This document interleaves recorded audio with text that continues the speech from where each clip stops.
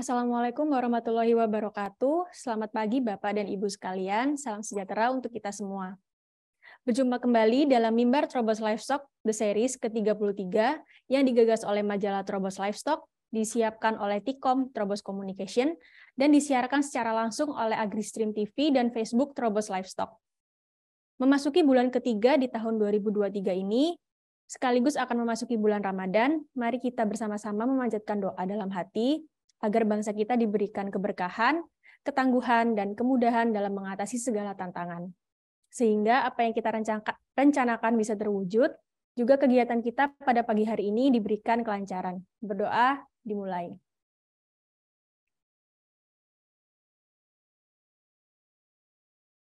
Berdoa selesai. Mimbar Trobos Livestock The Series adalah panggung bagi para pakar, para praktisi profesional, pemangku kepentingan, dan para pemangku kebijakan yang kompeten di bidangnya untuk menyampaikan pemikiran dan pandangannya terkait isu terkini yang mengemuka di bidang peternakan dan kesehatan hewan. Pemikiran para narasumber ini akan kami publikasikan di berbagai media kami dan tentunya di majalah Trobos Livestock edisi mendatang. Mimbar yang mengangkat topik tentang penyakit bakterial pada unggas ini disponsori oleh PT Romindo Prima Vetcom. Romindo Prima Vetcom mulai berkiprah di bidang kesehatan hewan sejak 26 April 1976. Sebagai bagian dari PBF Eurindo, sejalan dengan perkembangan subsektor peternakan, unggas, utamanya di tanah air, pada tanggal 11 Maret 1990, nama Romindo Prima Vetcom resmi digunakan. Untuk mendekatkan obat hewan ke para pelanggannya, Romindo Prima Vetcom memiliki tujuh cabang utama dan belasan kantor pembantu dengan menempatkan tenaga dokter hewan dan sarjana peternakan sebagai tenaga ahlinya. Romindo Prima Vetcom memproduksi obat hewan berkualitas melalui penelitian dan pengembangan internal dan bantuan dari prinsipal untuk mencapai ternak sehat, ternak produktif. Romindo Prima Vetcom akan terus berusaha untuk menyediakan obat hewan yang berkualitas dengan pelayanan prima, sehingga menjadi perusahaan obat hewan yang selalu diandalkan oleh para pelanggannya. Baik, mari kita simak gambar berikut ini.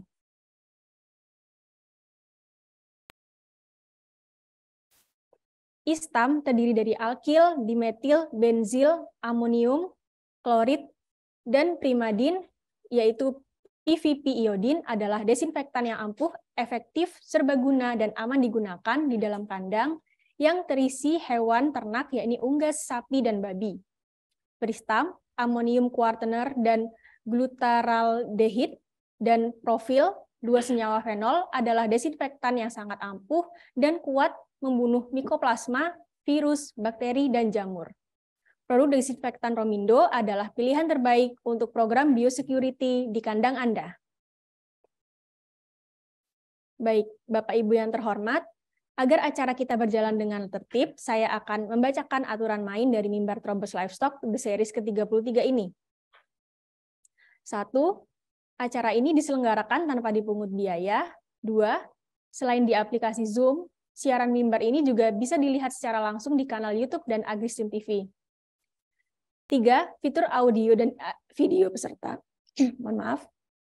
Fitur audio dan video peserta secara otomatis diatur oleh penyelenggara untuk menjaga kondusivitas acara ini. Empat, dilarang melakukan aktivitas di luar tujuan dari acara ini. Lima, Sesi diskusi akan dipandu oleh moderator setelah semua sesi presentasi. Dengan pertanyaan dapat ditulis langsung melalui fitur chat. 6. Mimbar ini menyediakan online sertifikat untuk peserta yang sudah mengisi absensi. 7. Link untuk mengunduh materi presentasi akan diumumkan di akhir sesi melalui fitur chat. Khusus untuk sesi tanya-jawab, mohon menyampaikan pertanyaan dengan format nama lengkap, garing asal institusi, garing ditujukan kepada siapa, garing pertanyaan. Demikian aturan main dari diskusi ini. Dan saya Bella, redaktur pelaksana redaksi majalah Trobos Livestock akan memandu mimbar ini hingga selesai. Bapak dan Ibu yang kami hormati, mohon berkenan untuk mengaktifkan videonya karena kami akan mendokumentasikan acara ini dengan melakukan virtual photoshoot. Bisa dibuka kameranya, Bapak-bapak, Ibu-ibu semuanya. Oke. Siap? Satu, dua, tiga.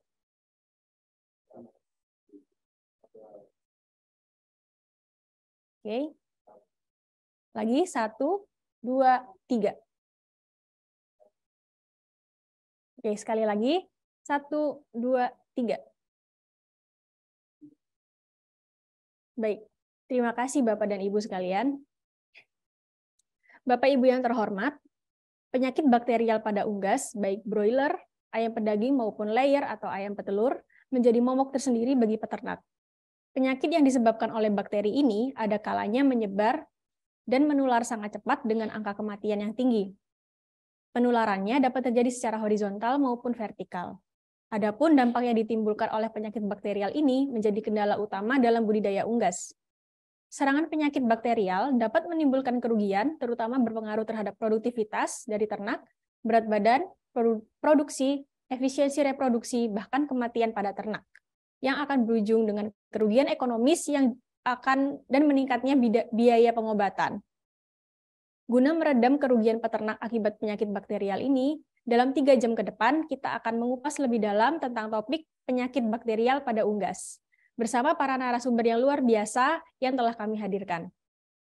Bapak dan Ibu yang berbahagia, Narasumber pertama telah bersama kita yaitu Dr. Hewan Fetnizah Junian Tito PhD selaku dosen patologi Sekolah Kedokteran Hewan dan Biomedis atau SKHB IPB University.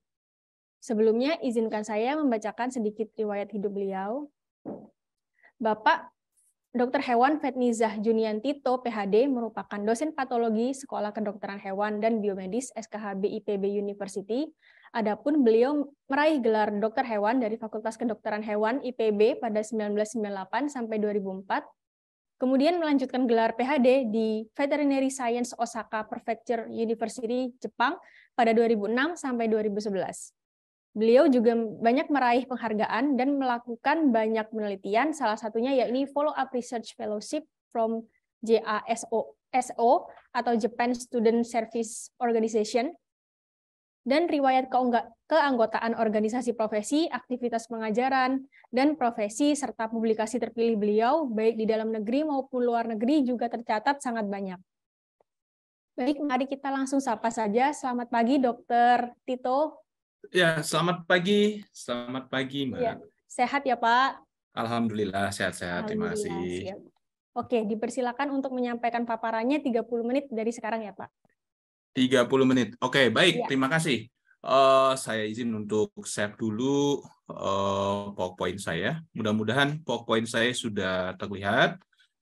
Oke, sebentar. Saya bikin full screen dulu. Ya, baik.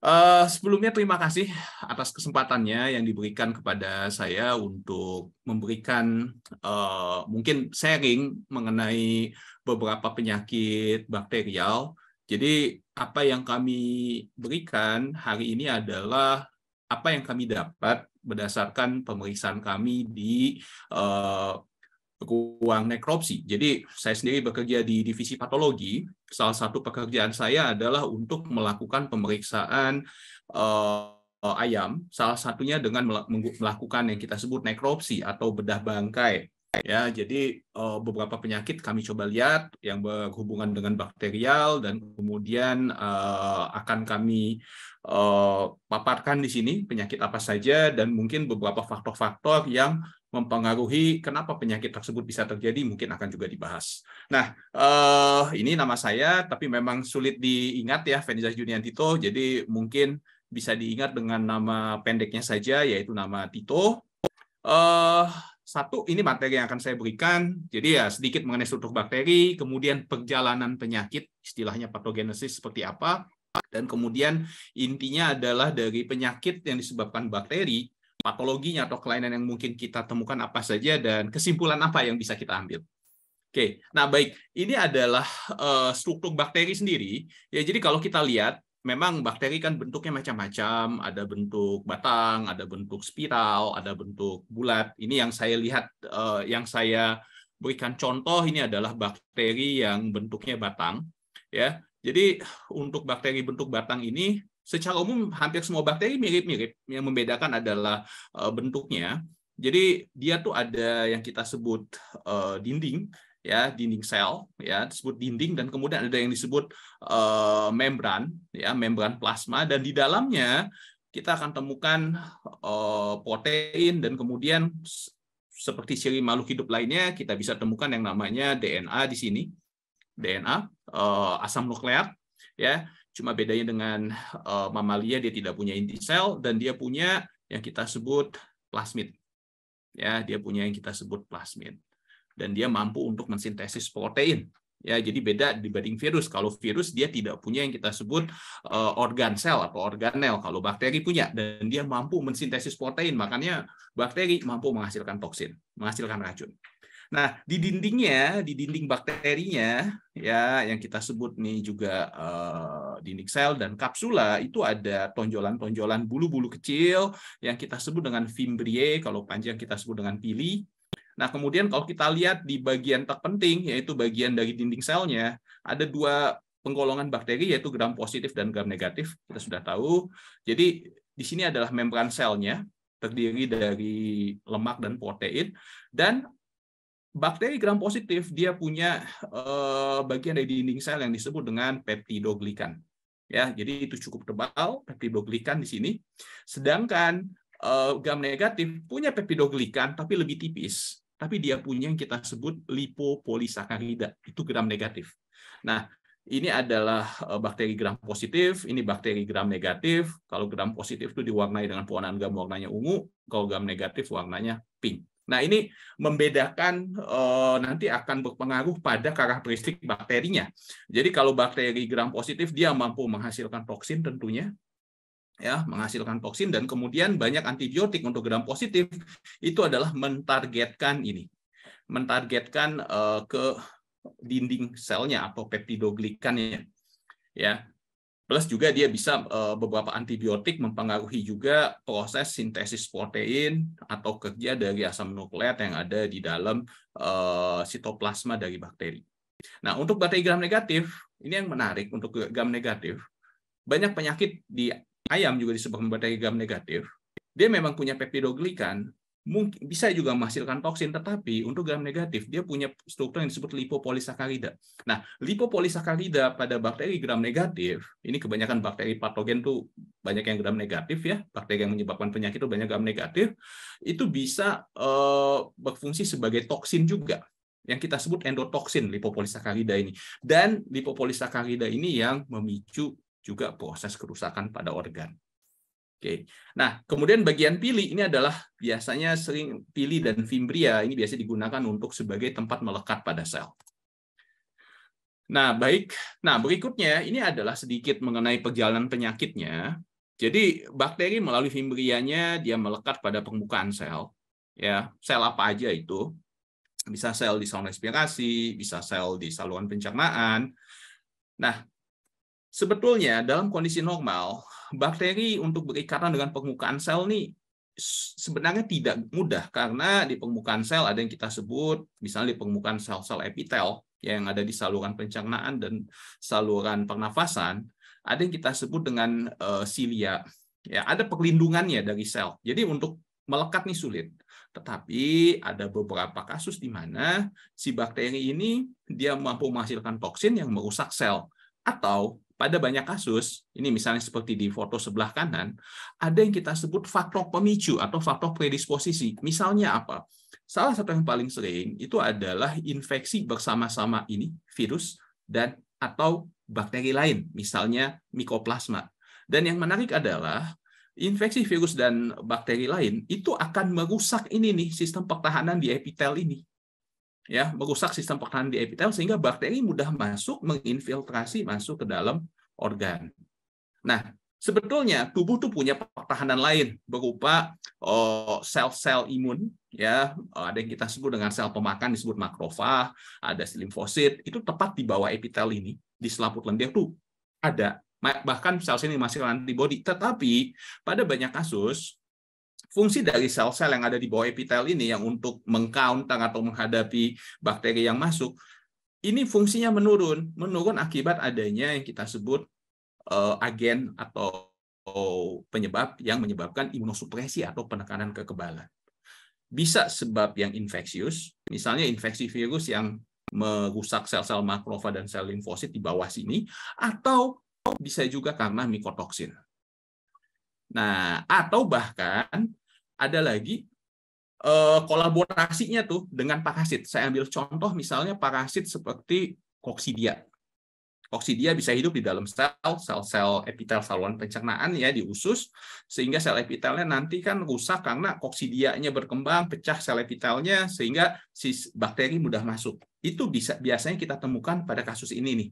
Pada kasus misalnya contohnya pada kasus eh, apa namanya necrotic enteritis yang disebabkan oleh Clostridium. Ya. Jadi Clostridium ini biasanya mengikuti infeksi parasit sebelumnya seperti koksidia atau mengikuti infeksi virus yang ada sebelumnya. Dan sering kali eh, bakteri-bakteri ini, Clostridium, atau contohnya juga di atas ini ada APEC, EPEC. APEC ini adalah avian pathogenic E. coli, Escherichia coli. Ini nih mengikuti infeksi virus atau proses eh, penurunan kekebalan yang terjadi sebelumnya gitu. Ini yang sering kali menyebabkan infeksi bakteri jadi lebih meluas. Nah, kira-kira itu yang kami temukan di lapangan yang berhubungan dengan perjalanan penyakit yang uh, mungkin muncul. Nah, di sini ada contohnya. Ini uh, kami dapat dari paper. Ya, jadi ini broiler. Ya, ini broiler di Amerika, makanya pemeliharaannya bisa sampai 49 hari. Jadi seperti yang sudah saya sebutkan tadi, beberapa faktor pemicu atau predisposisi itu bisa dimulai satu misalnya dari uh, stres lingkungan misalnya amonia tinggi. Amonia tinggi itu bisa merusak yang kita sebut uh, rambut getar atau silia dari saluran pernafasan yang membuat bakteri itu lebih mudah untuk masuk melekat di sel dan kemudian masuk ke dalam organ organ pernafasan. Itu pertama. Kemudian akan dipicu juga, akan dipermudah juga masuknya bakteri adalah dengan adanya imunosupresi. Salah satu yang disebabkan oleh di sini nih, IBD, misalnya karena gumboro, karena anemia, itu semua kan menurunkan fungsi dari sel-sel imunitas. Dan berikutnya, di sini nih ada eh, infeksi saluran respirasi dari IB, influenza, yang low pathogenic influenza bahkan, itu semua bisa merusak uh, rambut getar, uh, epitel, sel-sel yang memudahkan bakteri mudah menempel dan mudah masuk. Oke. Nah, ini semua pastinya akan menyebabkan uh, kerugian ekonomi. Jadi intinya di sini yang kami dapat pada banyak kasus memang ada bakteri secara utama menyebabkan kelainan, tetapi dia erat kaitannya dengan infeksi yang lain atau ada faktor pemicu yang menyebabkan kekebalan menurun. Itu kesimpul, itu uh, intinya. Nah, ini uh, contoh berikutnya. Jadi ini ada berbagai beberapa jenis bakteri ini kami dapat di paper juga. MG ini adalah Mycoplasma gallisepticum penyebab mikop, uh, penyebab CRD. Uh, ORT ini Ornithobacterium rhinotracheale penyebab sinusitis, rinitis ya. Kita temukan tuh salah satunya pada kasus SHS. Kemudian H9 dan sebagainya H3 ini adalah low pathogenic avian influenza. Mereka erat berkaitan ya dalam infeksi lapang. Jadi si virusnya merusak epitel sehingga pertahanan eh, apa namanya barrier pertahanan di epitelnya berkurang ya. Kemudian bakteri pasti ada kan? Nah bakteri infeksi sekunder masuk dan kemudian bakteri lebih mudah masuk. Apalagi kalau dia sudah dipicu adanya imunosupresi. Makanya kalau kita lihat di sini Contohnya saja low pathogenic avian influenza, flu burung yang low pathogenic, yang uh, flu burung yang apa namanya keganasannya rendah, ya itu sering kali bekerja sama dengan bakteri sehingga menyebabkan infeksi bakteri malah lebih meluas. Oke, nah eh, kemudian bakteri bisa menyebabkan kematian karena bakteri ini mudah meluas ke berbagai organ. Alasannya adalah karena bakteri mampu menghasilkan toksin yang gampang merusak jaringan, merusak pembuluh darah, merusak pembatas sel, sehingga mereka mudah dengan masuk. Beda sama virus. Virus kan harus berkembang di dalam sel. Dia tidak menghasilkan toksin kalau virus. Bakteri, dia bisa masuk ke dalam sel, tapi dia juga menghasilkan toksin. Sehingga dia lebih mudah masuk, menginvasi, menyerang jaringan. Nah, akibatnya dia mudah menyebar ke berbagai bagian tubuh, terutama lewat pembuluh darah. Kalau kondisi bakteri sudah eh, menyebar luas ke seluruh tubuh, itu kita sebut dengan sepsis atau septikemia. Nah, sepsis bisa menyebabkan kematian karena satu, dia merusak pembuluh darah. Begitu dia masuk ke organ, mau masuk ke organ kan dia harus keluar dari pembuluh darah kan. Nah, untuk keluar dari pembuluh darah dia akan merusak pembuluh darah sehingga e, merusak pembuluh darah yang membuat kerusakan pembuluh darah itu akan membuat yang kita sebut dengan trombus nih, gumpalan darah. Nah, ini akan membuat suplai darah ke jaringan berkurang, suplai darah ke sel berkurang. Akibatnya oksigen berkurang, makanan berkurang, selnya mati. Nah, masalahnya kalau si bakteri ini bisa menyebar peredaran darah, dia bisa ke mana-mana, kerusakan yang terjadi akibat kekurangan oksigen dan suplai nutrisi ke sel jadi meluas. Nah, ini yang akan mengakibatkan kegagalan fungsi organ yang berakibat kepada kematian. Jadi, itu intinya, bakteri begitu masuk, dia bisa merusak pembuluh darah, kerusakan pembuluh darah menyebabkan suplai oksigen dan suplai nutrisi jadi berkurang, sel banyak yang mati. Akan jadi masalah kalau dia terjadi di organ-organ vital, otak, jantung, hati, dan paru-paru, dan sebagainya. Ini menyebabkan kematian. Itu tuh perjalanan penyakit bakteri yang paling utama. Dibu bisa jadi dibuka virus, bisa jadi dibuka dulu oleh adanya uh, penekanan kekebalan, dan bakteri ini lebih mudah menyebar dan dia mudah menghasilkan toksin untuk supaya dia lebih mudah masuk ke dalam jaringan atau organ. Nah, ini ada salah satu konsep yang sebenarnya terjadi di bakteri. Jadi misalnya infeksi CRD misalnya, Mycoplasma gallisepticum itu kan kronis ya. Nah, infeksi kronis pada kasus Mycoplasma gallisepticum ternyata ya itu bisa memicu yang kita sebut penekanan kekebalan. Jadi intinya ketika ada kerusakan organ akibat infeksi kronis, ya itu akan menyebabkan tubuh menghasilkan banyak sel-sel leukosit. Kita tahu untuk membentuk sel perlu protein, perlu lemak, perlu energi dari karbohidrat. Nah, begitu ada infeksi, yang namanya molekul penting tubuh seperti protein, lemak, karbohidrat itu ditujukan untuk membentuk sel-sel pertahanan, ditujukan untuk memerangi uh, agen penyakitnya. Akibatnya nutrisi jadi apa namanya suplai untuk nutrisi ke otot, ke jaringan jadi berkurang termasuk nantinya padahal kita tahu bahwa si karbohidrat protein lemak diperlukan juga untuk kerja sel-sel organ vital tubuh kan jantung otak dan sebagainya. Nah biasanya nanti kalau in, apa namanya infeksinya terlalu lama ini akan membuat tubuh mengeluarkan satu sel yang disebut MDSC jadi suatu sel dari sumsum -sum tulang yang berpicu yang memicu supaya pembentukan leukosit pembentukan darah putih jangan banyak-banyak. Gitu loh Nah, ini akan memicu kalau dia terlalu lama infeksinya, kronis, memicu nanti penekanan kekebalan dari tubuh yang berakibat apa? Tubuh akan mudah mengalami imunosupresi karena eh, apa namanya yang namanya protein lemak karbohidrat lebih banyak ditujukan untuk eh, apa namanya mempertahankan fungsi utama organ-organ vital dibandingkan membentuk sel darah putih. Nah, itu ini salah satu yang kita harus hindari karena kalau infeksi bakteri, apalagi dia uh, tidak mematikan tapi kronis, sebenarnya itu akibatnya adalah ini yang paling serius, penekanan kekebalan. Nah, ini beberapa contoh uh, jenis apa namanya bakteri eh, beberapa penyakit bakteri yang bisa menyebabkan penyakit yang sering kami temukan. Salah satunya adalah ini, Bapak dan Ibu mungkin praktisi peternakan atau Bapak Ibu yang bekerja ada hubungannya dengan uh, ayam boiler layer pasti pernah temukan penyakit ini. Jadi di luar organ, luar jantung, di luarnya hati itu ada ada selaputnya, ada membrannya. Nah, ini yang kita sebut membrannya kita sebut dengan fibrin dan kita akan temukan dia di dalam rongga perut seperti ini. Ini kasus di ayam layer ya. Perkejuan menyelaputi permukaan usus, menyelaputi permukaan dari rongga perut atau peritoneum. Nah, permukaan organ itu kita sebut dengan bagian disebut serosa. Jadi pada kasus ini kita akan temukan banyak uh, selaput yang kita sebut fibrin menutupi permukaan organ. Nah ini yang kita sebut uh, peradangan pada serosa atau serositis, tetapi di banyak lokasi yang kita sebut poliserositis. Dan kelainan ini ini adalah kelainan yang konsisten kita temukan pada kasus-kasus kolibasilosis E. coli. Oke, ini sering kami temukan.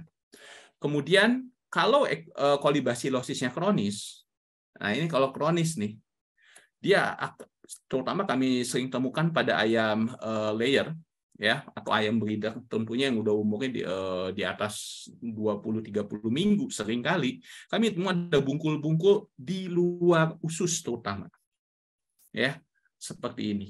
Nah ini yang kita sebut koligranuloma namanya. Di luar usus paling banyak kita temukan kemudian sendi bisa bengkak, isinya cairan sendi, warnanya cuma kalau ada infeksi bakteri, infeksi coli, warna cairan sendinya keruh dan kental. Dan pada banyak kasus di broiler maupun di layer, bahkan ayam broiler yang masih muda, kan ada yang broiler yang betina ya, eh, kita bisa temukan juga ini nih saluran telurnya nih oviduct yang ada di sebelah kiri terisi oleh eh, perkejuan atau terisi oleh fibrin. Oke. Nah, Salah satu penyebabnya adalah memang karena di lapang E. coli ini banyak. Salah satunya kita sering temukan di air dan uh, pada beberapa kasus uh, kami temukan kolibasilosis uh, bakterinya itu ada di air dan menariknya walaupun kita sudah klorinasi kok masih ada aja E. coli-nya. Salah satunya karena di dalam saluran air itu ada lapisan tipis nih. Lapisan tipis mirip seperti lumut yang kita sebut biofilm dan bakteri itu seperti E. coli itu bersembunyi di lapisan tipis yang disebut biofilm ini. Dan dia lapisan biofilm ini menyelubungi bakteri sehingga dia lebih tahan terhadap desinfektan, tahan terhadap eh, apa namanya klorin. Ya.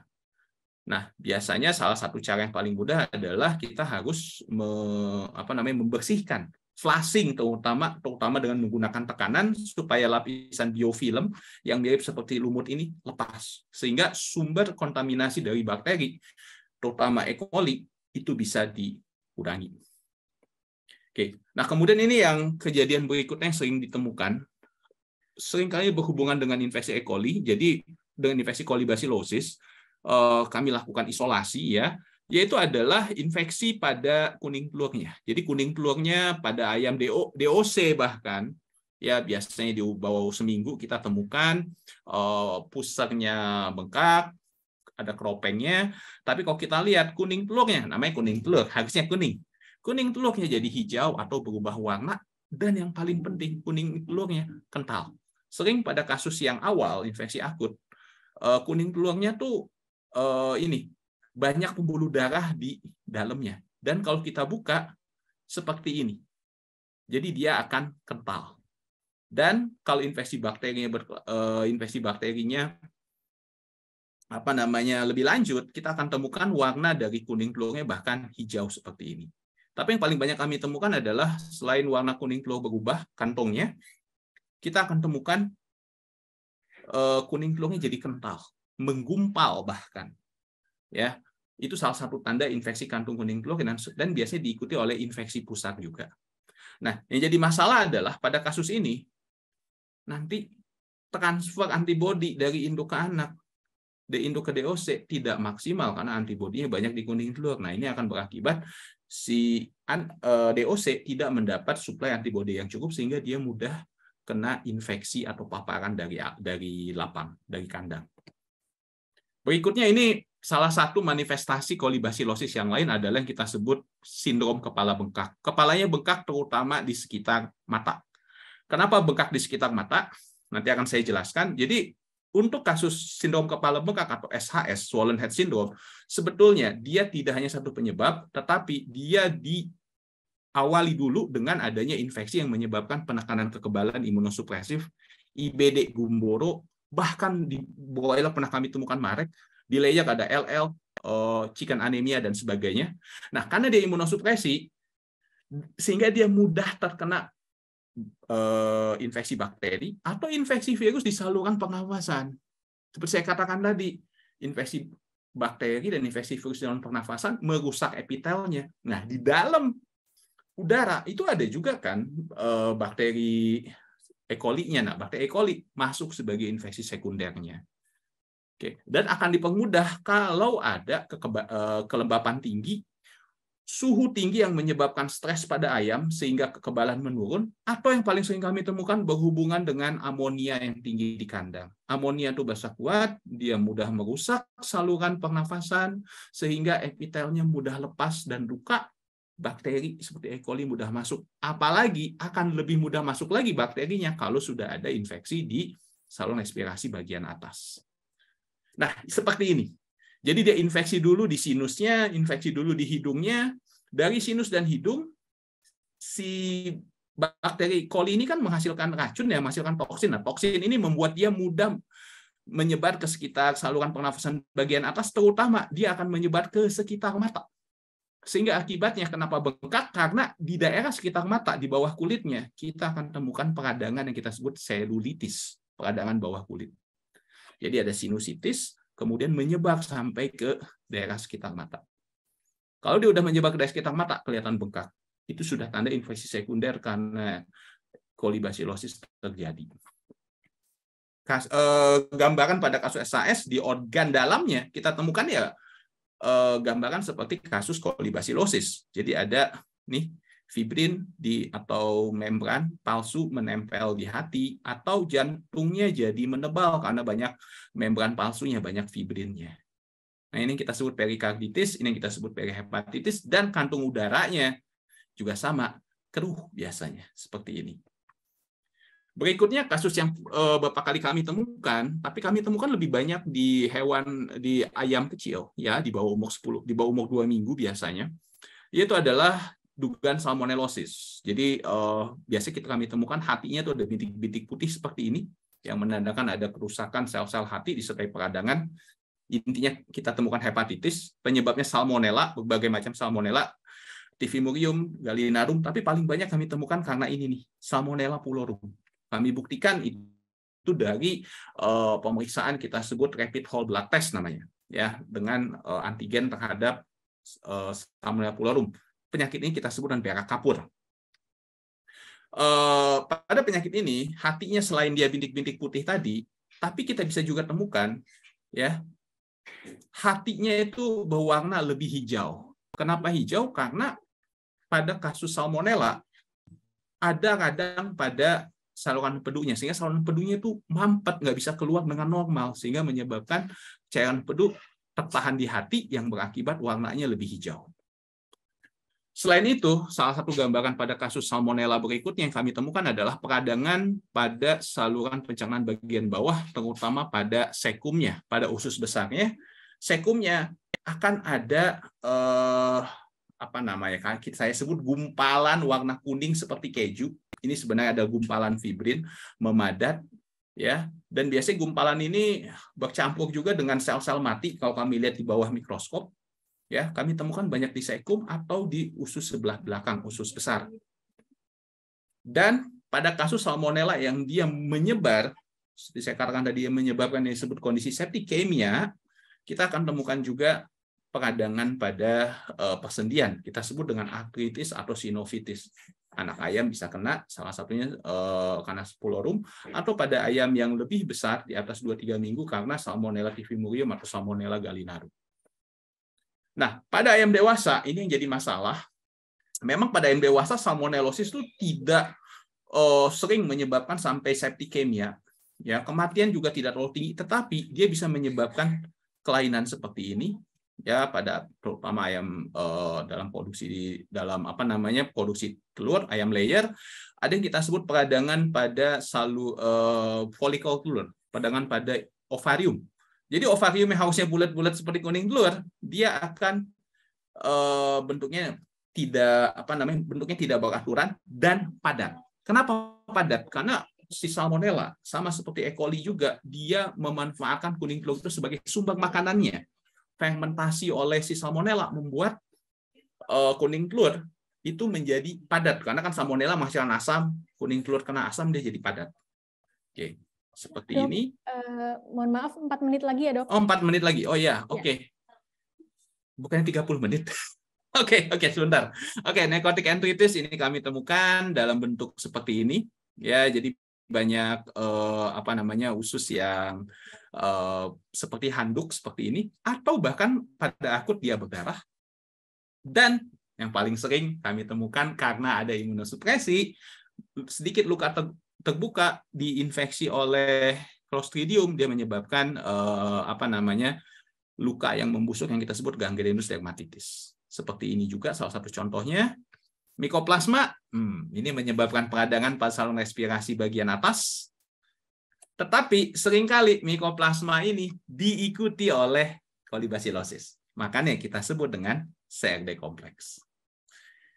Dan kami temukan juga beberapa kasus mikoplasma, beda penyebabnya mikoplasma synoviae selain menyebabkan infeksi pada respirasi juga menyebabkan peradangan pada tendon dan sendi. Seperti ini.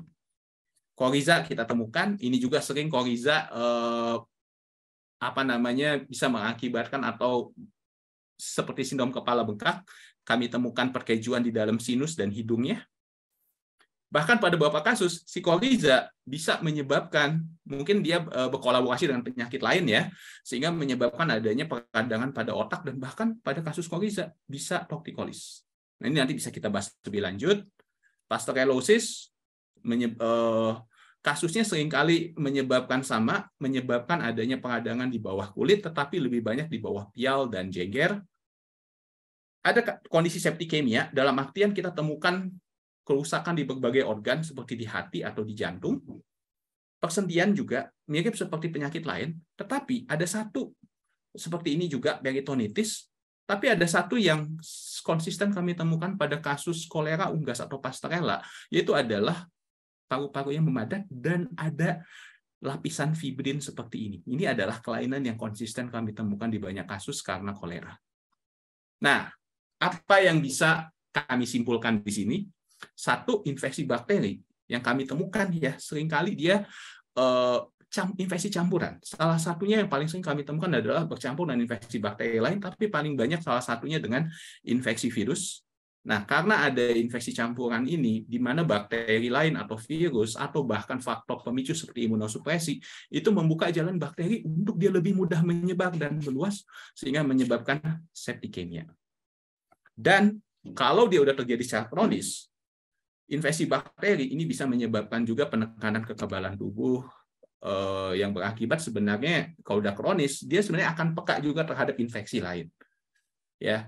Sehingga kalau dalam ini kami jadi mungkin salah satu strateginya yang bisa dilakukan adalah vaksinasi terhadap virus ya. Vaksinasi terhadap virus atau dengan kita mengurangi cekaman lingkungan seperti mengurangi cekaman panas atau bahkan mengurangi amonia itu akan berpengaruh besar terhadap frekuensi atau berpengaruh besar terhadap uh, timbulnya penyakit bakteri. Itu akan mudah mengurangi insidensi penyakit bakterial. Kalau memang sudah terjadi infeksi bakterial, supaya dia tidak kronis, ya tentunya dengan penggunaan antibiotik itu akan diperlukan. Oke, sekian mungkin dari saya, karena waktu yang terbatas. Uh, jika ada pertanyaan dan sebagainya, kita akan bahas kembali di waktu diskusi. Waktu dan tempat saya kembalikan kepada moderator. Terima kasih. Ya, terima kasih uh, Dokter Tito. Sangat kompleks dan menarik sekali karena ada gambar-gambarnya juga, jadi kita bisa tahu gitu ya. Nah, uh, Dok ada beberapa poin yang ingin saya tekankan, Dok. Baik. Kan seperti yang sudah disebutkan dan ada di kesimpulan juga. Uh, nah, jadi uh, infeksi bakteri ini perjalanannya kan tadi virus dulu masuk merusak epitel seperti itu.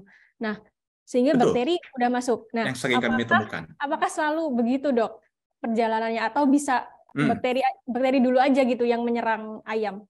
Bagaimana dok? Ah ya, baik terima kasih mbak. Bisa ya bisa. Hanya memang begini.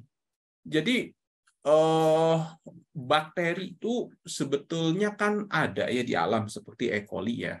Jadi tapi dalam kondisi ayam sehat, ayam normal, dia tidak menyebabkan penyakit ya. Tetapi ketika ada faktor pemicunya, ya bisa aja bakteri aja, bakteri saja tanpa ada keterlibatan virus, tapi sering kali eh, kami temukan pasti ada sesuatu yang membuat si hewan itu kekebalannya menurun. Apakah misalnya dia cekaman panas misalnya sehingga terjadi proses uh, stres tinggi di ayam, apalagi ayam boiler yang mudah stres karena panas, Nah, itu membuat si bakteri yang mudah masuk. Pada beberapa kasus, eh, misalnya eh, pada kasus salmonella misalnya, ya ada beberapa kasus tuh bakteri itu sendirian. Tetapi itu biasanya terjadi kalau populasi bakterinya tuh tinggi gitu loh. Saking tingginya populasi bakteri membuat eh, kemungkinan membuat tubuh tidak bisa mengatasi ininya apa namanya infeksinya. Nah, pada kasus itu terjadi. Kami pernah mendapat kasus yang menarik ya. Mungkin ayamnya itu imunosupresi enggak dan sebagainya, tetapi ternyata mereka kena salmonella. Kami lihat dia ternyata apa coba? Rupanya kandangnya kemasukan tikus. Tikusnya itu yang membawa si bakteri salmonella termakan ayam, Dan tikus ini kan eh, apa namanya membawa bakteri salmonella jumlah banyak ya. Jadi banyak bakteri salmonella membuat si ayam terpapar bakteri ini dalam jumlah tinggi sehingga akhirnya sakit. Mungkin bisa. Tapi memang lebih banyak kami temukan kalau pengalaman kami lebih banyak dia ada keterlibatan pemicu lain, apakah infeksi virus atau uh, penyebab penekanan kekebalan atau imunosupresi. Begitu, Mbak. Baik, berarti faktor biosecurity juga penting ya, Dok ya? Sangat, sangat betul. Siap, oke. Uh, terima kasih sekali lagi untuk Dr. Hewan Fetniza Juniantito, PhD, dosen patologi Sekolah Kedokteran Hewan dan Biomedis SKHB IPB University. Bapak Ibu yang terhormat, PT Medion Farmajaya didirikan pada tahun 1976 di Bandung. Medion adalah perusahaan kesehatan hewan yang berfokus pada peternakan. Perusahaan ini memproduksi dan memasarkan berbagai macam produk farmasetik, vaksin, dan peralatan peternakan. Kini produknya ada di seluruh Indonesia dan lebih dari 20 negara di Asia dan Afrika. Tidak hanya berkomitmen menghasilkan produk yang berkualitas dan inovatif, tetapi juga memberikan pelayanan yang prima dan menyeluruh. Dimulai dari variasi produk yang sesuai kebutuhan peternak hingga pengujian laboratorium dan edukasi peternak.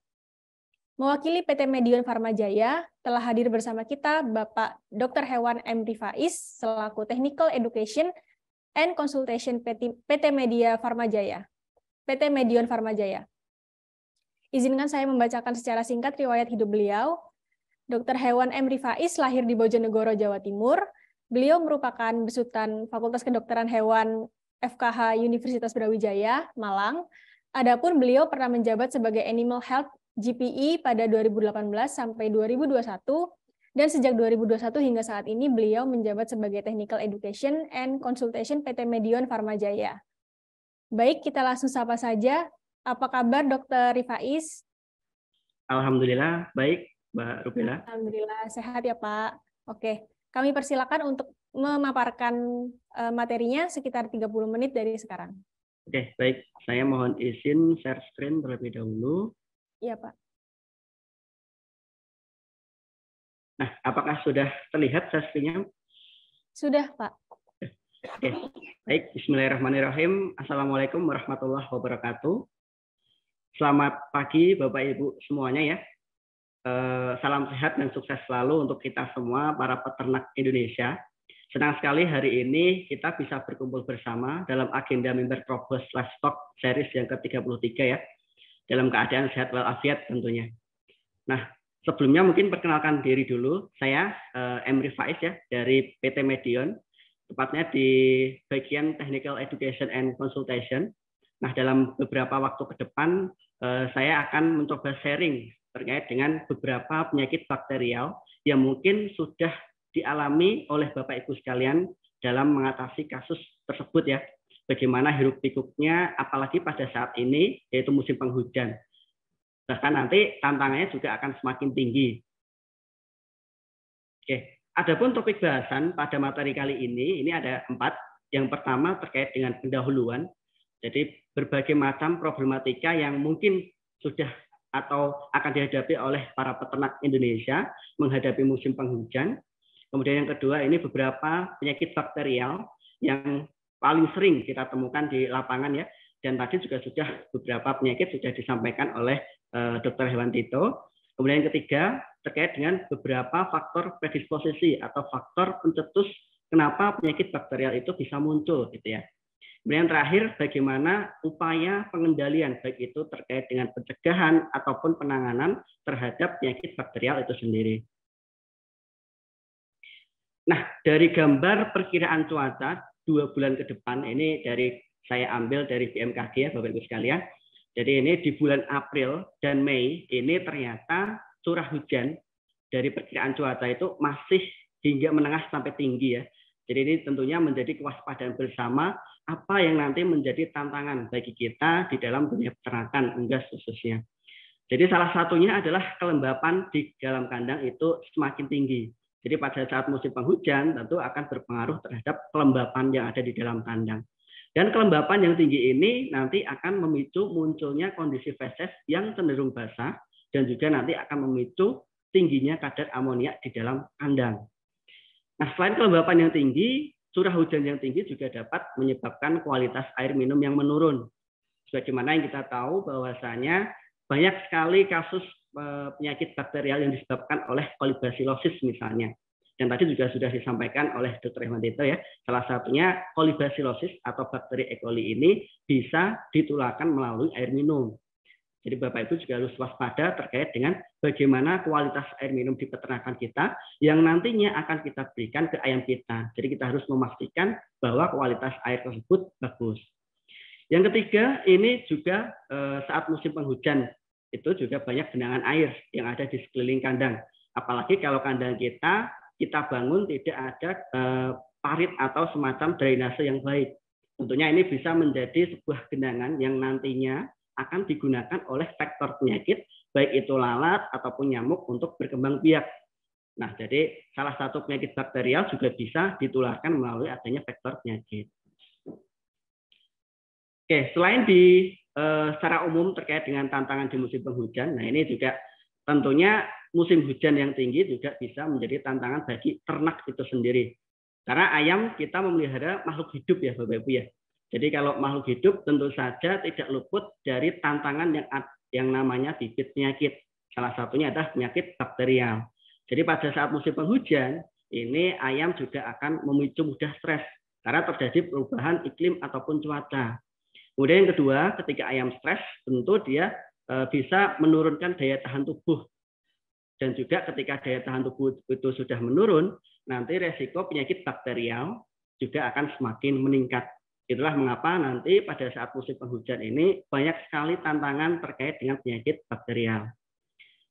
Nah, kemudian kalau kita lihat dari grafik ranking penyakit ayam broiler secara nasional, jadi seluruh Indonesia, dari empat tahun terakhir di tahun 2019 hingga tahun 2022, ini datanya kami ambil dari tim lapangan Medion ya. Jadi ini eh, tertampil bahwasanya penyakit bakterial salah satunya adalah CRD. Ini menjadi ranking penyakit pertama pada ayam broiler secara nasional.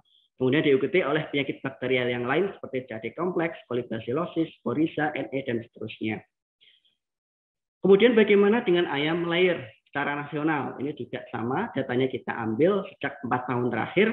Ternyata pada ayam layer penyakit korisa atau snot ya Bapak Ibu sekalian, ini menduduki ranking penyakit pertama pada ayam layer secara nasional Kemudian diikuti oleh penyakit bakteri yang lain seperti CRD, CAD kompleks, kolibasilosis, kolera, dan sebagainya. Tentunya ini menjadi eh, kewaspadaan bersama akan pentingnya kita mengetahui sejak dini bagaimana eh, untuk mengatasi terkait dengan adanya penyakit bakterial yang siap kapan pun menginfeksi ayam-ayam kita. Kemudian masuk ke bahasan yang kedua yaitu tentang beberapa penyakit bakterial ya Bapak Ibu sekalian yang mungkin juga sudah uh, dialami oleh Bapak Ibu sekalian. Nah, yang pertama ini ada penyakit chronic respiratory disease atau CRD. Nah, CRD ini disebabkan oleh Mycoplasma glycepticum di mana karakteristik dari Mycoplasma ini dia tidak memiliki dinding sel sehingga Bapak Ibu jika menemukan kasus CRD itu harus pilih-pilih untuk antibiotik yang tepat. Jadi kalau untuk penyakit CRD, ini dia tidak peka terhadap antibiotik golongan penisilin. Jadi kalau Bapak Ibu menemukan kasus CRD, caranya adalah memberikan antibiotik dari golongan selain penisilin. Karena kalau golongan penisilin, dia cara kerjanya itu eh, menghancurkan dinding sel, sedangkan mikoplasma ini dia tidak memiliki dinding sel. Kemudian mikoplasma dia juga tumbuh optimal pada suhu 37 sampai 38 derajat Celcius. Selain itu, mikoplasma ini juga sensitif terhadap sinar matahari ataupun berbagai golongan desinfektan, baik itu golongan Watts atau amonium amonium ya seperti Medisep, kemudian golongan oxidizing agent seperti neoantisep ataupun golongan aldehid atau formalin seperti formadis. Jadi semua jenis desinfektan itu bisa kita gunakan untuk membasmi agen penyebab CRD. Adapun masa inkubasi atau masa perjalanan penyakit dari masuknya penyakit hingga menimbulkan gejala klinis ini berlangsung 6 sampai 10 hari untuk penyakit CRD. Dan CRD ini juga ditularkan secara vertikal dan juga horizontal. Jadi vertikal baik dari induk ke anaknya ataupun secara horizontal dari ayam sakit ke ayam sehat secara langsung ataupun melalui perantara. Melalui perantara dari ayam sakit ke peralatan peternakan ataupun personal kandang gitu ya. Jadi itu menjadi kewaspadaan juga terkait dengan rute penularan penyakit CRD. Nah, kalau kita lihat terkait dengan patogenesa atau perjalanan penyakit CRD, tadi disebabkan oleh Mycoplasma glisepticum, dia akan masuk ke dalam saluran pernapasan bagian atas, di mana apalagi kalau didukung dengan penerapan manajemen yang kurang baik. Misalkan kadar amoniak di dalam kandang dibiarkan tetap tinggi. Nah, amoniak di dalam kandang ini ternyata memiliki resiko yang sangat tinggi terhadap eh, kesehatan saluran pernapasan. Salah satunya adalah dia dapat eh, merusak silia. Silia ini adalah eh, sistem pertahanan fisik atau mekanik yang ada di saluran pernafasan, seperti yang ada di laring ataupun trakea gitu ya. Jadi kalau ada bakteri mikoplasma di lingkungan, kemudian eh, sistem pemeliharaan yang kurang baik seperti kadar amonia yang tinggi, maka bakteri ini akan sangat mudah masuk menginfeksi ayam-ayam kita. Dan target utama bakteri mikoplasma ini dia ada di kantung udara atau air sak. Jadi nanti akan ditemukan air sakulitis atau kantung udara yang keruh. Dan kantung udara ini merupakan salah satu organ yang merupakan titik lemah dari saluran pernafasan.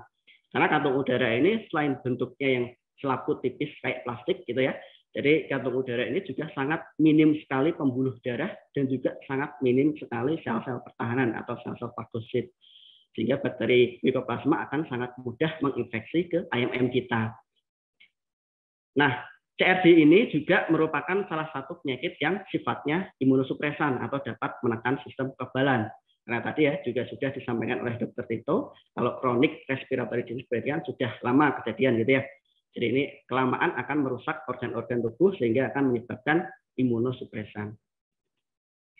Nah, karena CRD ini bersifat imunosupresan, atau membuat eh, kekebalan tubuh itu menurun, maka bakteri lain atau penyakit-penyakit yang lain itu akan sangat mudah masuk ke dalam tubuh ayam. Contohnya adalah bakteri E. coli, sehingga nanti kita sebut sebagai CRD kompleks. Jadi eh, CRD kompleks adalah penyakit yang disebabkan oleh CRD dan diikuti oleh bakteri Escherichia coli. Nah, kemudian karakteristik dari bakteri Escherichia coli ini tadi ya gram negatif, kemudian eh, berbentuk batang pendek dan dia patogen oportunistik ya Bapak Ibu sekalian. Jadi bakteri E. coli ini dia akan selalu ikut, akan selalu nimbrung gitu ya ketika kondisi ayam-ayam kita itu sedang drop atau sedang lemah gitu ya oleh adanya CRD apalagi. Jadi nanti dia akan bisa mudah masuk ke dalam uh, tubuh ayam. Bakteri E. coli juga sensitif terhadap semua jenis desinfektan ya, baik itu dari uh, golongan kuat, kemudian golongan oxidizing agent ataupun uh, formaldehyde. Kemudian untuk masa inkubasinya dari 3 sampai 5 hari.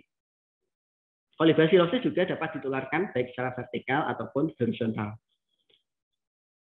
Oke, nah ini adalah gambaran perubahan CRD dan juga CRD kompleks yang biasanya ditemukan di lapangan gitu ya Bapak Ibu sekalian.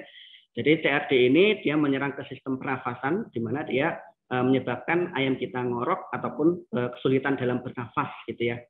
Nah, kemudian kalau kita eh, lakukan bedah bangkai untuk melihat perubahan organnya, tentunya akan terjadi perubahan seperti laringitis atau peradangan pada laring dan juga peradangan pada trakea atau tracheitis.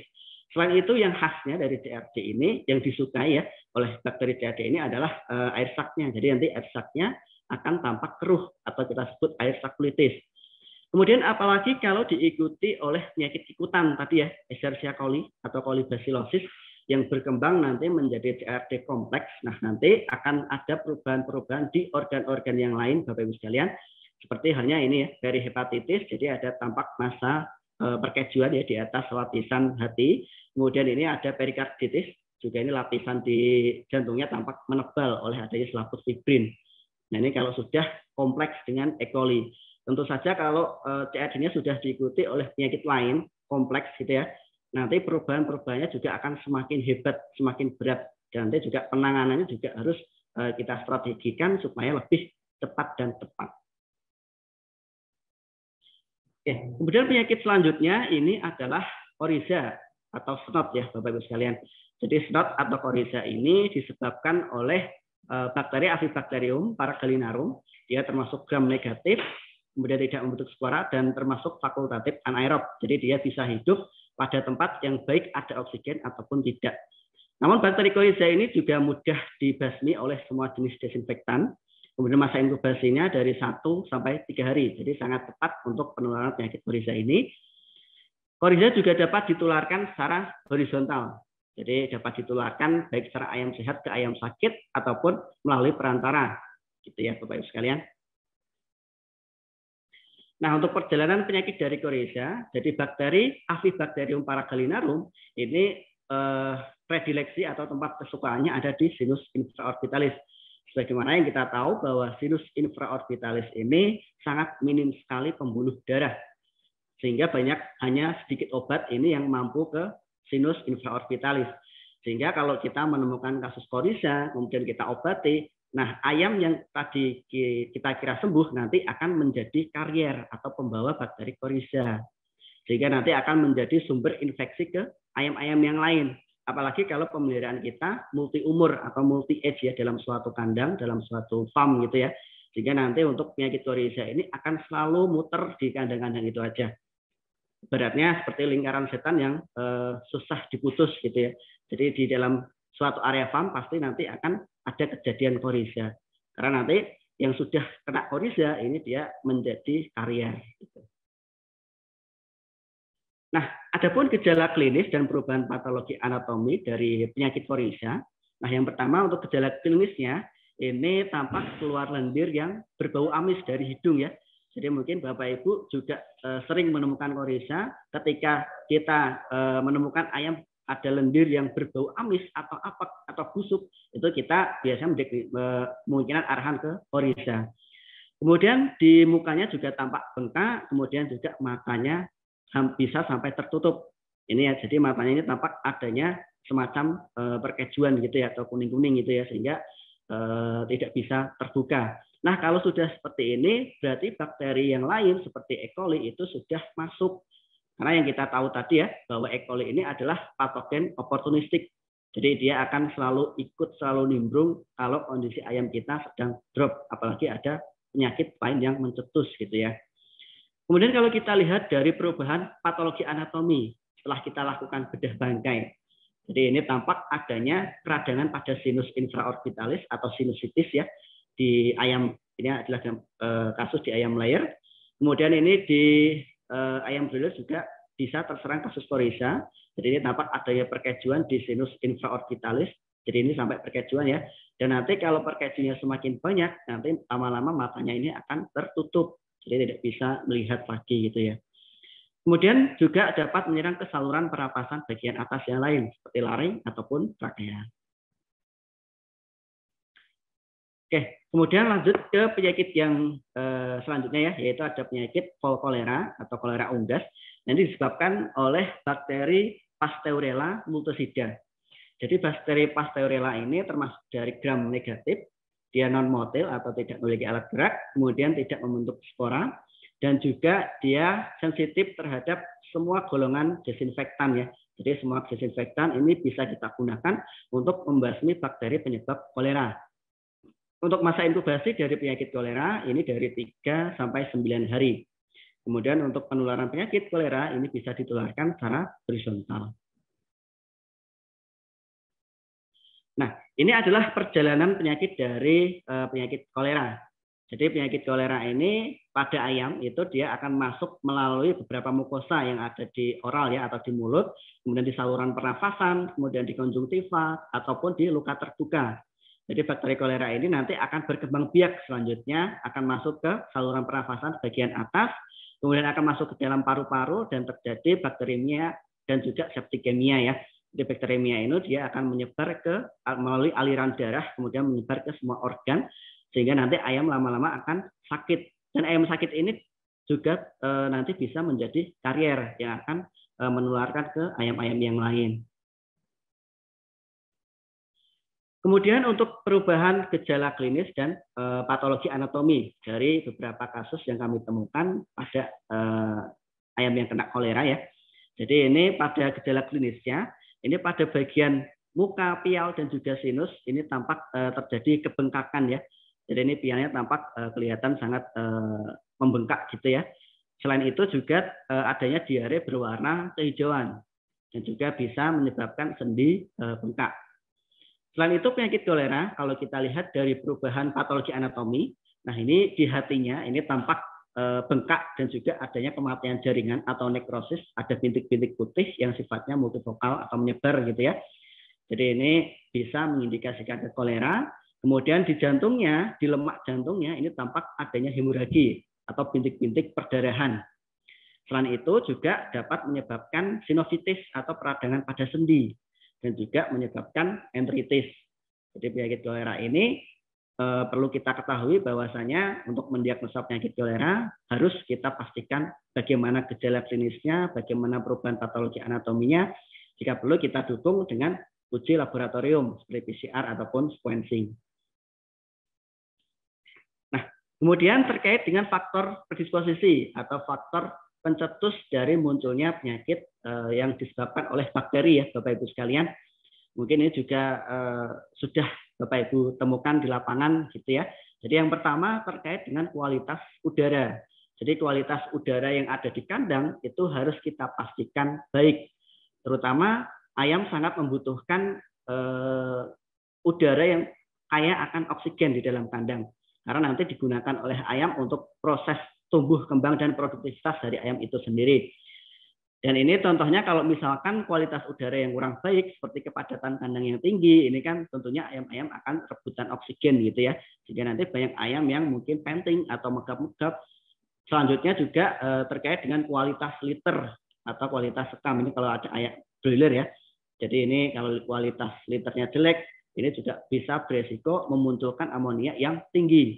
Seperti yang saya sampaikan sebelumnya, bahwa amonia ini adalah zat iritatif atau iritan gitu ya, yang nantinya bisa merusak ke sistem pernapasan.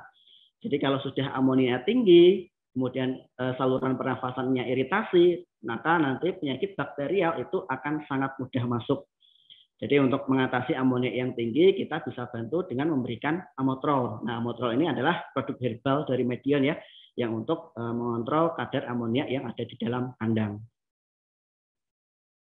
Nah, selain kualitas udara yang harus kita perhatikan adalah kualitas air minum. Jadi kualitas air minum kita juga harus pastikan selalu baik. Jadi di ayam ini kita memiliki standar kualitas baik secara fisik, kimia maupun biologinya harus seperti apa supaya nanti memasuki standar uh, untuk dikonsumsi oleh unggas atau ayam-ayam kita. Jadi untuk memastikan kualitas air minum ayam kita baik, kita bisa bantu dengan melakukan uji kualitas air. Jadi ini untuk mengetahui bagaimana kualitas secara fisiknya, bagaimana kualitas secara kimiawinya maupun secara mikrobiologinya. Jadi terkait dengan kandungan bakteri Escherichia coli-nya misalnya. Jadi di, di sini apakah air minum yang akan kita berikan ke ayam ini tercemar E. coli atau tidak, ini kita bisa bantu dengan uji kualitas air yaitu di Medilab ya atau di Medion Laboratorium yang ini sudah sudah uh, tersebar di beberapa wilayah Indonesia. Jadi kita bisa bantu untuk uh, mengetahui bagaimana kualitas air minum yang ada di peternakan Bapak Ibu sekalian. Karena tadi penyakit kolibasilosis juga menjadi salah satu tantangan ya dalam peternak ayam baik broiler ataupun layer sehingga untuk mengetahui dan untuk mencegahnya kita bisa eh, ketahui terlebih dahulu apakah air minum di farm kita sudah bebas dari E. coli atau masih tercemar gitu ya. Oke, eh, mungkin langsung lanjut saja ke bagian yang keempat ya terkait dengan bagaimana langkah-langkah pengendalian ya baik terkait dengan pencegahan ataupun terkait dengan penanganan penyakit bakterial. Nah, yang pertama ini untuk pencegahan dari penyakit atau kasus bakterial. Jadi kita bisa mengkombinasikan antara biosecurity. Nah, biosecurity ini adalah yang utama ya. Jadi kita harus eh, menerapkan biosecurity yang baik di peternakan kita. Karena biosecurity ini adalah benteng pertahanan pertama dalam mencegah penyakit masuk ke peternakan kita. Kemudian bisa kita bantu kombinasikan dengan vaksinasi. Jadi vaksinasi ini tentunya Eh, tujuannya untuk membuat ayam-ayam kita kebal terhadap suatu penyakit tertentu. Kemudian kita dukung dengan pemberian suportif, misalnya multivitamin ataupun imunostimulan untuk membantu meningkatkan daya tahan tubuh supaya performa ayam tetap optimal. Jadi kombinasi tiga eh, hal ini tentunya bisa sinergis untuk eh, mencegah penyakit bakterial yang ada di peternakan Bapak Ibu sekalian. Nah, tidak lupa kita juga harus menerapkan manajemen yang baik di peternakan kita. Karena dalam suatu pemeliharaan ayam, baik itu layer atau broiler, manajemen ini memegang peranan terbesar dalam mencapai kesuksesan dalam beternak ayam. Jadi seperti halnya melakukan penerapan manajemen brooding dan juga pemeliharaan yang baik ya Bapak Ibu sekalian. Karena manajemen brooding ini merupakan fase awal pemeliharaan eh, fase awal atau fase kritis dari pemeliharaan ayam ya.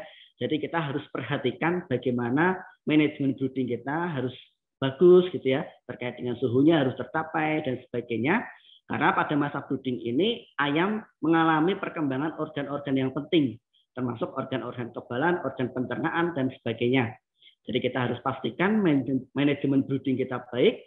Selain itu juga manajemen liter atau kualitas liter yang baik itu juga harus kita pastikan jangan sampai liter yang ada di kandang kita itu sudah basah atau lembab itu eh, kita biarkan gitu ya jadi tidak ada perlakuan sama sekali karena nanti kalau liter yang lembab ataupun basah ini nanti akan memicu tingginya amonia yang ada di dalam kandang.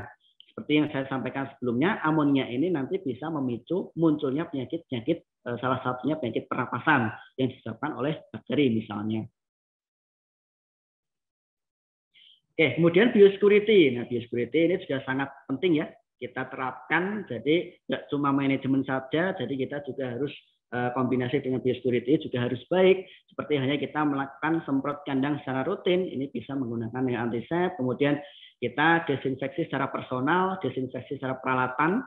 Kemudian ini eh, juga sama desinfeksi ke kendaraan yang keluar masuk ke peternakan kita ini bisa menggunakan sporades dan juga tabur kapur di bawah kandang, di lantai kandang, dan juga masa istirahat kandang minimal 14 hari. Tentunya hal ini untuk memutus siklus hidup bibit penyakit supaya tidak terulang kembali di periode berikutnya. Jadi serangkaian biosecurity mulai dari isolasi, pengendalian lalu lintas dan juga sanitasi dan desinfeksi itu wajib kita terapkan di peternakan kita. Karena untuk mencegah suatu peternakan itu terinfeksi Eh, penyakit gitu ya. Karena kita tahu sendiri bahwa mencegah itu lebih baik daripada mengobati. Karena mencegah ini nantinya akan memberikan eh, hal yang baik ya supaya nanti peternakan kita terhindar dari suatu penyakit. Oleh karena itu biosecurity di peternakan kita harus kita terapkan secara komitmen dan konsisten pelaksanaannya ya utamanya. Nah, kemudian sanitasi air minum. Nah, ini karena tadi bakteri Escherichia coli itu merupakan penyakit, eh, penyebab penyakit kolibasilosis yang bisa ditularkan di air minum, maka sanitasi air minum ini juga sangat penting. Wajib kita terapkan sebagai bagian dari biosecurity, kita bisa melakukan sanitasi air minum menggunakan desinsep.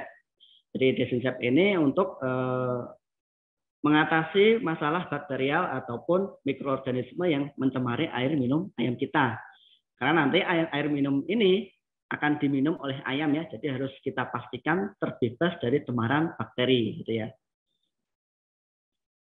Nah, Desinsep ini adalah produk desinfeksi, air minum Medion. Jadi ini komposisinya terdiri dari chloraminte. Untuk dosisnya 30 ml per 1000 liter air. Nah, keunggulan Desinsep dibandingkan dengan klorin, jadi Desinsep ini dia lebih stabil jika dibandingkan klorin. Kemudian dia tidak berwarna dan juga aman digunakan. Jadi kalau klorin itu dia relatif uh, tidak stabil ya dan cepat menguap di udara. Sedangkan kloraminte yang ada di dalam uh, desinsep ini dia lebih stabil serta tahan lama saat dilarutkan serta tidak menimbulkan perubahan rasa, bau dan warna pada air minum ayam. Nah, selain kita memberikan desinfeksi air minum, kita juga wajib menerapkan flushing. Seperti yang disampaikan oleh Dr. Tito juga tadi ya, bahwasanya Eh, untuk membasmi bakteri penyebab koli yang ada di jalur pipa air minum itu nggak cukup kalau cuma desinfektan saja. Jadi itu harus dikombinasikan dengan flushing secara rutin pada jalur pipa air minum. Ini tujuannya untuk menghilangkan biofilm pada jalur pipa air. Jadi biofilm ini adalah tempat persinggahan, tempat persembunyian dari bakteri eh, yang ada di saluran eh, air minum gitu ya. Sehingga untuk flushing ini sangat efektif bila Eh, kita lakukan secara rutin. Apalagi kalau eh, ada pemberian obat ataupun vitamin, ini wajib kita lakukan setelah pemberian selesai ya. Jadi ini untuk mencegah supaya pipa-pipa biofilm kita, pipa-pipa kita itu tidak uh, muncul biofilmnya. Jadi jadi untuk flushing ini kita bisa lakukan satu kali sehari ataupun tiga sampai empat kali per, per satu minggu. Dan durasi flushingnya ini bisa satu menit per 30 meter pipa air minum. Dan caranya kita bisa menggunakan beberapa metode. Yang pertama ini bisa menggunakan air bertekanan tinggi. Kemudian yang kedua kita bisa menggunakan zat kimia pembersih ya, seperti H2O2, asam sitrat ataupun asam cuka. Kemudian kita juga bisa eh, melakukan flushing dengan bantuan alat yaitu Harsonic ini melalui gelombang ultrasonik. Oke, selain manajemen biosecurity, ternyata untuk mencegah suatu penyakit itu kita juga bisa melakukan vaksinasi. Misalnya ini melakukan vaksinasi Coriza. Karena kalau Korisa sendiri tadi menjadi salah satu tantangan pertama ya, penyakit ranking pertama di ayam layer, sehingga kita bisa membantu mencegahnya dengan penerapan vaksinasi Korisa. Jadi vaksinasi dengan menggunakan Medivac Corisaki dan juga Medivac Corisaki suspension, di mana e, vaksin ini sudah mengandung 4 strain bakteri dari Aflibacterium paragalinarum yang tentunya bisa memberikan perlindungan yang lebih luas. Jadi untuk komposisinya bisa uh, terdiri dari uh, dari A1 dan C4 dari isotapang juga sesuai terhadap bakteri tantan yang ganas dominan bersirkulasi. Jadi untuk uh, vaksin Korisa ini tersedia dalam dua sediaan, jadi ada emulsi dan juga ada yang sedianya suspensi. Uh, dok, empat menit lagi ya. Oh ya, nah ini untuk uh, data hasil uh, tantang proteksi ya terhadap Korisa terkini. Jadi Medivac Corisaki ataupun Medivac Corisaki suspension ini terhadap tantang Apibacterium A1, C2 ataupun C4 ini dia bisa memberikan perlindungan yang optimal ya terhadap bakteri yang bersirkulasi serta aman digunakan. Nah, kemudian kalau kita lihat terkait dengan serogrup Coryza, ini di Indonesia ini ada tiga serogrup ya, dari A, B, dan C. Di mana masing-masing serogrup ini serogrup ya, tidak ada cross proteksi ya. Jadi harus kita eh, pakai vaksin yang homolog sesuai dengan eh, serovar yang tersirkulasi di Indonesia.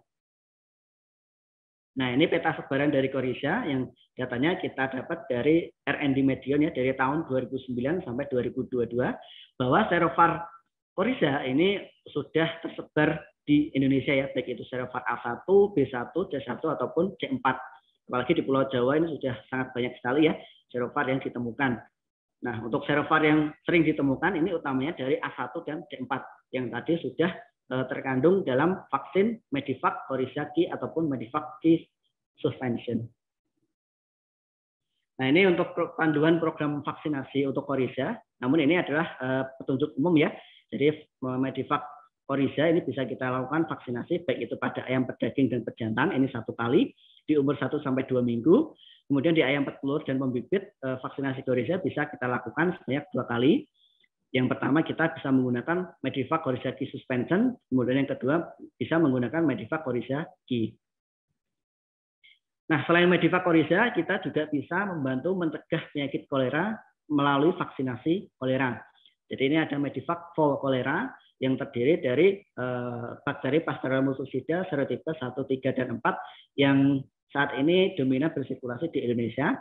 Jadi ini indikasinya untuk mencegah kolera ya pada unggas baik itik, ayam petelur ataupun uh, jenis ayam yang lain.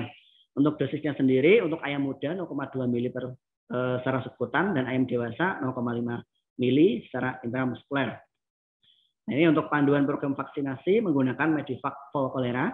Jadi untuk ayam petelur atau pembibit bisa kita lakukan sebanyak dua kali dengan cara IM dada ya intramuskuler dada Kemudian pada ayam kampung ini juga bisa kita lakukan uh, dua kali menggunakan IM dada ataupun SD yang pertama, kemudian yang kedua uh, IM dada. Dan pada itik juga bisa kita lakukan sebanyak dua kali. Nah, selain kita pencegahan, kita juga bisa menangani kasus bakterial yang utamanya adalah pemberian antibiotik. Jadi Medion juga menyediakan beragam antibiotik, baik itu antibiotik kimia ataupun antibiotik herbal ya, Bapak sekalian. Jadi eh, tidak perlu khawatir, kita bisa membantu dalam menangani kasus penyakit bakterial yaitu dengan pemberian antibiotik. Selain antibiotik, kita juga bisa bantu dengan pemberian suportif.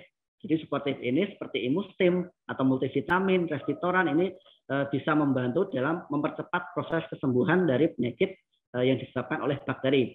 Jadi Bapak Ibu bisa mengkombinasikan antara antibiotik dengan uh, sportif gitu ya supaya nanti hasil pengobatannya juga akan semakin cepat sembuh gitu ya. Nah, ini adalah beragam beragam antibiotik yang tersedia untuk uh, mengobati penyakit bakterial. Jadi ini uh, terkait dengan uh, penggunaan antibiotik secara bijak ya. Jadi kita harus rutin melakukan rolling antibiotik Tujuannya adalah untuk mencegah supaya antibiotik yang kita gunakan di peternakan kita itu tidak resisten gitu ya terhadap bakteri. Nah, yang pertama kita bisa menggunakan produk herbal seperti Vitera. Nah, ini eh, adalah antibiotik versi herbal medion ya. Tentunya kalau yang berasal dari herbal ini bisa lebih aman, kemudian tidak menimbulkan residu ataupun resistensi. Kemudian kita bisa eh, rolling di beberapa periode ke depan dengan menggunakan golongan yang lain. Ini seperti golongan aminoglikosida, seperti eh, produk fast trap dan sebagainya. Kemudian ini ada beberapa golongan yang lain bisa kita bantu untuk eh, melakukan rolling antibiotik. Jadi kalau rolling itu harus golongannya, jadi bukan mereknya ya Bapak Ibu sekalian. Tentunya ini untuk mencegah supaya penggunaan antibiotik di peternakan kita masih tetap sensitif terhadap bakteri. Nah ini ya kenapa kita perlu rolling karena tadi ya terkait dengan eh, penggunaan golongan antibiotik yang secara terus-menerus ini akan membuat sensitivitasnya menurun sehingga bakteri lama-lama akan menjadi resisten atau kebal. Ya kita bisa melakukan rolling antibiotik, rolling golongan antibiotik gitu ya, setiap tiga atau eh, empat periode pengobatan gitu ya. Nah, sebagai kesimpulan bahwasanya yang pertama ini penyakit bakterial ini menjadi eh, tantangan yang terbesar ya dalam perunggasan Tadi sudah ada di grafik ranking penyakit, di mana Coriza ini menempati ranking satu pada ayam layer, kemudian CRD menempati ranking satu pada ayam broiler. Selain itu pencegahan terhadap penyakit bakterial itu kita bisa terapkan kombinasi yang baik antara manajemen, kemudian biosecurity, program vaksinasi dan juga pemberian sportif secara rutin supaya nanti eh, daya tahan tubuh ayam kita tetap bagus, tetap optimal gitu ya. Kemudian ketiga, penanganan penyakit bakterial ini bisa kita lakukan dengan memberikan antibiotik yang tepat dan juga bijak. Oke, mungkin demikian yang dapat saya sampaikan. Waktu dan tempat eh, saya kembalikan ke moderator. Terima kasih. Ya, terima kasih Dr. Rifais. Sangat menarik dan solutif pemaparannya. Nah, ada beberapa poin yang ingin saya tekankan ya, Dok uh, yang seperti yang dokter sampaikan tadi, kalau koriza itu karier. Nah, ini menjadi siklus yang tidak bisa diputus seperti itu. Nah, bagaimana sih dok penanganan yang tepat supaya kandang ini terbebas dari bakteri koriza? Oke, jadi eh, bakteri penyebab koriza ini memang salah satu momok di dunia peternakan unggas ya. Apalagi tadi di ayam layer, dia menempati ranking penyakit yang pertama. Karena di Indonesia sendiri kebanyakan kalau saya lihat ya, itu memang pemeliharaannya multi umur ya, banyak umur ya. Itulah salah satu penyebab atau predisposisi yang menjadi mengapa korisa itu selalu datang lagi gitu ya. Karena kalau eh, dalam pemeliharaan banyak kandang tapi banyak umur, nanti ayam yang sudah kena korisa dan sudah kita obati itu nanti bisa menular ke yang lain. Nah, nularnya ini bisa secara langsung dari ayam sakit sakit ke ayam sehat ataupun melalui perantara. Jadi itu seperti semacam memang semacam siklus ya ya mungkin kita bisa perlakukan kalau eh, pemeliharaan kita salah satunya satu umur saja gitu. Tapi kalau di Indonesia sebenarnya tidak mungkin ya. Karena ini juga untuk terkait dengan keuntungan dari Bapak Ibu sekalian. Tapi kalau untuk penyakit koriza karena dia bakteri itu kalau muncul lagi kita bisa eh, memberikan antibiotik gitu ya. Jadi dengan pemberian antibiotik setidaknya kita bisa membantu mengatasi penyakit koriza. Selain penanganan untuk koriza, kita juga bisa membantu mencegahnya dengan vaksinasi. Jadi ada beberapa kasus di mana peternakan itu melakukan vaksinasi koriza, kemudian eh, tapi ada koriza lagi, nanti eh, pengobatannya dia akan bisa lebih tepat karena ayam sudah memiliki kekebalan gitu ya. Walaupun eh, tetap masih ada gitu ya karena banyak faktor predisposisi memunculkan penyakit koriza gitu ya. Oke, mungkin itu dari saya Mbak Bella. Baik. Baik, terima kasih Dr. Rifais. Uh, sekali lagi terima kasih sekali lagi uh, untuk Bapak Dr. Hewan M. Rifais, Technical Education and Consultation PT Medion Farmajaya. Bapak Ibu yang kami hormati, apresiasi dan terima kasih kami sampaikan kepada Bapak Ibu yang dengan setia mengikuti acara kami yang disponsori oleh PT Medion Farmajaya dan PT Romindo Prima Vetcom baik di aplikasi Zoom, kanal YouTube AgriStream TV, maupun Facebook Trobos Livestock. Kami lihat partisipan yang menyimak mimbar Trobos ini di aplikasi Zoom mencapai 193 partisipan dan di YouTube sebanyak 5 viewers dari berbagai daerah dan institusi di Indonesia seperti Kabupaten Sigi, Cirebon, Batu, Bogor, Tuban, Jombang, Kebumen, Bengkulu, dan lain-lain. Bapak Ibu yang terhormat, materi terakhir yakni telah bersama kita Bapak Heri Irawan SPT selaku co-founder Rumput Ilalang Hijau dan juga sebagai peternak. Izinkan saya membacakan uh, riwayat hidup beliau. Bapak Heri Irawan menempuh pendidikan S1 di Fakultas Peternakan IPB pada 2002 sampai 2006. Sebelum menjabat sebagai co-founder Rumput Ilalang Hijau, Beliau memiliki sederet pengalaman kerja, mulai dari menjadi farm manager hingga direktur operasional salah satu perusahaan peternakan terkemuka. Saat ini beliau berdomisili di Bogor, Jawa Barat, dan menjalankan budidaya ternak unggas pula. Oke, baik mari kita langsung sapa saja. Uh, Assalamualaikum Pak Heri, apa kabar? Waalaikumsalam warahmatullahi wabarakatuh. Alhamdulillah baik Mbak Rubella. Ini namanya kayak nama penyakit ya Mbak Rubella iya. ini. Nama virus ya Pak ya? nama virus. Siap. Oke Pak, uh, waktunya kami persilakan 30 menit dari sekarang. Oke, Assalamualaikum warahmatullahi wabarakatuh. Semangat pagi kepada para uh, narasumber. Selamat pagi Pak Dr. Tito ini mengingatkan saya flashback 20 tahun yang lalu kayak ikut kuliah Pak dari dari pagi. Sudah sangat detail dibahas tentang penyakit dari mulai jenis penyakit ya termasuk Pak Dr. Ipai selamat pagi, salam kenal Pak jadi eh, hari ini terima kasih pada eh, semua narasumber dan termasuk Trobos ya selaku panitia untuk mengangkat penyakit bakteri ini. Tahun ini tiga bulan terakhir penyakit bakteri ini memang muncul. Next Pak, slide pertama Pak coba.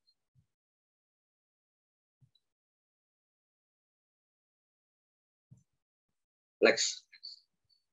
Jadi sebagai pengantar ya, karena tadi Pak Dr. Tito sudah sangat detail jelaskan jenis penyakit bakteri, kemudian Pak Dr. Iva termasuk jenis-jenisnya.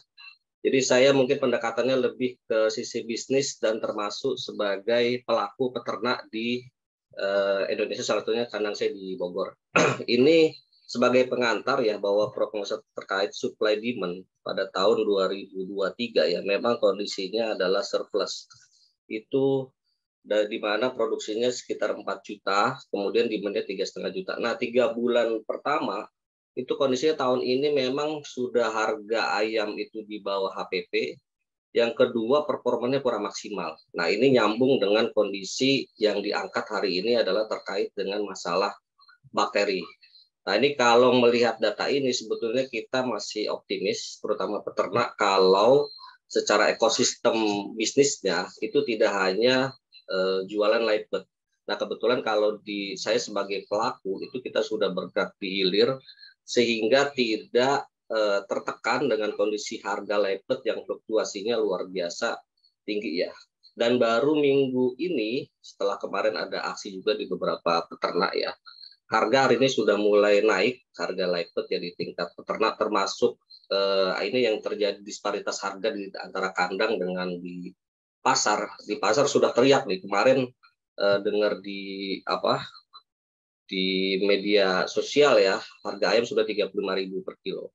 Sudah teriak. Padahal di kandang ini baru mulai naik sedikit. Nah itu pun masih di bawah HPP itu yang menjadi kondisi hari ini terkait masalah harga lepet ya. Next. Nah ini Pak bisa diputar nggak ah, ini videonya ini adalah lokasi uh, PAM baru minggu lalu ya di kandang Tenjo. Populasi sekitar 90 ribu. Kemudian ini yang sebelah kanan itu lokasi Citerep. Ini kandang salah satu yang punya adalah pejabat di daerah Bogor ya. Kebetulan uh, beliau minta dicek kondisi ayamnya dan ini baru kemarin kita cek populasi ada 98 ribu ini umur 19 hari. Kalau tadi kan Pak Dokter Tito sama Pak Rifai sudah banyak tampilkan foto-foto, nah, saya coba tampilkan video. Ini kondisi ayam banyak eh, diem, kemudian depresinya sudah 4,9 persen. Bobotnya kalau kita lihat itu sekitar 750 gram, umur 19 hari. Kalau di compare dengan standar, itu di bawah standar sekitar 860 gram. Termasuk yang ini tadi timbul ada kalau dicermati yang kandang Tejo Bogor ya, itu ada timbul ngorok gitu setelah tiga minggu. Next Pak. Nah, ini kemarin kita cek, kemudian di nekropsi kalau tadi eh, jabaran dari Pak Dokter Dokter itu kan sangat detail. Ini kita temukan satu ada eh, indikasi koli pada ayam yang tadi di video yang lokasi di Citerep. Itu yang kedua kalau dijabarkan tadi dalam ususnya kebetulan saya belum update fotonya itu ada ususnya merah-merah.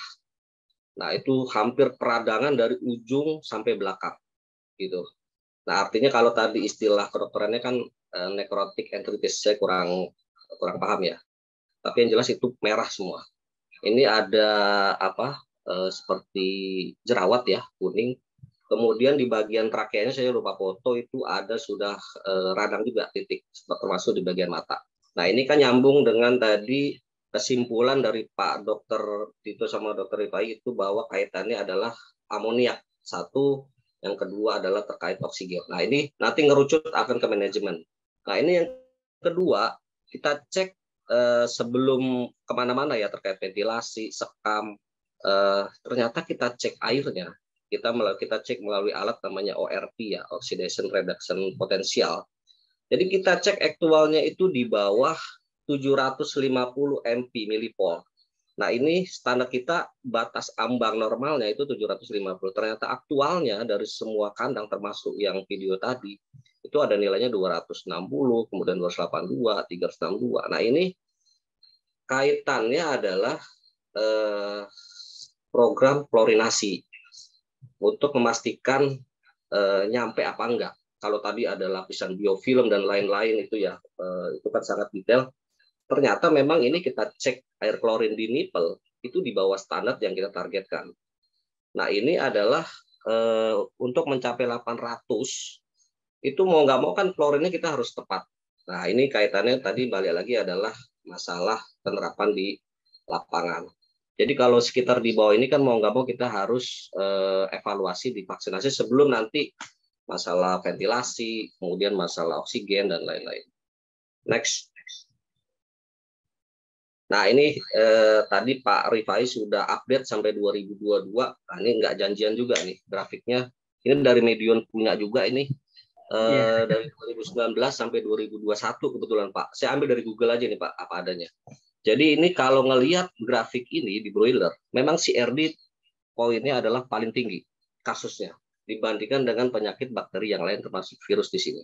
Nah sebelahnya pun sama, itu saya ambil dari teknika Super Pamsco. Nah, ini CRD juga menempati eh, penyakit broiler paling tinggi, 20% tahun 2022 dan tiga bulan 2023 sama juga case-nya sama.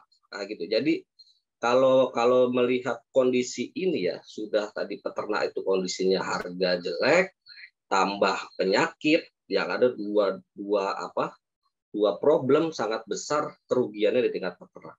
Gitu. Next. Next pak. Nah ini Nah, ini karena sponsornya juga ada Romindo, saya nggak termasuk iklan ini saya ambil juga. Jadi sekitar udah 50% kasus penyakit di ayam ini adalah 50% disebabkan oleh bakteri. 70% itu sebarannya adalah gram negatif, 30% adalah gram positif. Next, Pak. Nah, kalau saya uh, nyoroti terkait masalah CRD atau uh, kalau sebut saya sebagai peternak adalah ngorok yang kita tahu ya, nyekrek lah gitu. Nah ini CRD kan penyakit endemik, jadi dia berkepanjangan. Kayak tadi yang kasus kandang tadi itu depresinya manteng. Setiap hari mulai muncul itu itu setelah 14 hari. Setelah lepas brooding karena ada kendala di manajemen ya ada ventilasi kemudian sekam muncullah di situ termasuk pos vaksinal dan itu berkepanjangan depresinya sampai hari ini sudah tadi 5% per hari 0,1 persen. Nah ini mau nggak mau kalau sudah muncul seperti ini selain uh, kita fokus di manajemen adalah mau nggak mau adalah antibiotik ujungnya. Dan itu tentunya kita hindarin sebetulnya karena cost di situ kan akan naik termasuk nanti performanya ADG-nya, bobotnya pun tidak akan mengikuti. Gitu. Nah ini kalau melihat data kerugian ekonomi akibat CRD di Indonesia sudah mencapai sekitar 305 miliar rupiah per tahun. Ini hanya CRD. Gitu. Next Pak. Next. Nah ini permasalahan dalam pemeliharaan broiler. Kalau tadi disimpulkan saya sudah langsung simpulkan tadi dua narasumber kita yang salam hormat ya untuk senior saya itu yang pertama adalah nyekrek bumboro atau ngorok salah satunya tadi. Nah ini yang menjadi momok terbesar di kandang saat ini. Kalau saya perjalanan cek beberapa klien kita ya termasuk kandang internal kita juga memang itu murni real mismanagement. Karena kalau kaitannya ada juga salah satu uh, farm baru tadi malam saya cekin setelah jam 3 pagi ya.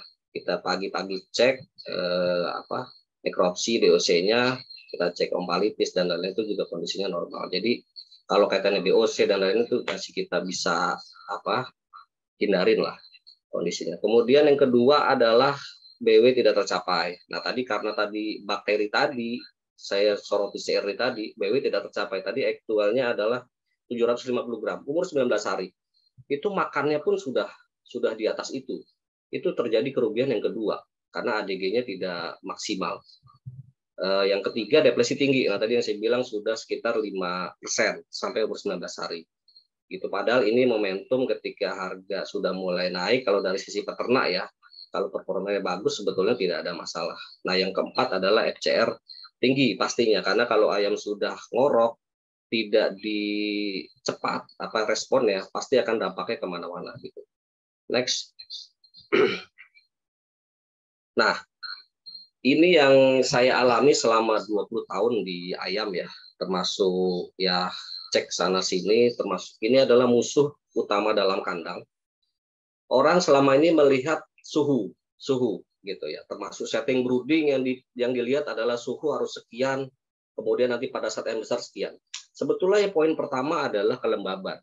Di Indonesia ini semua hampir semua kandang kayak kemarin yang case tadi kelembabannya kalau malam itu 100% nggak terukur di alat di Kestrel.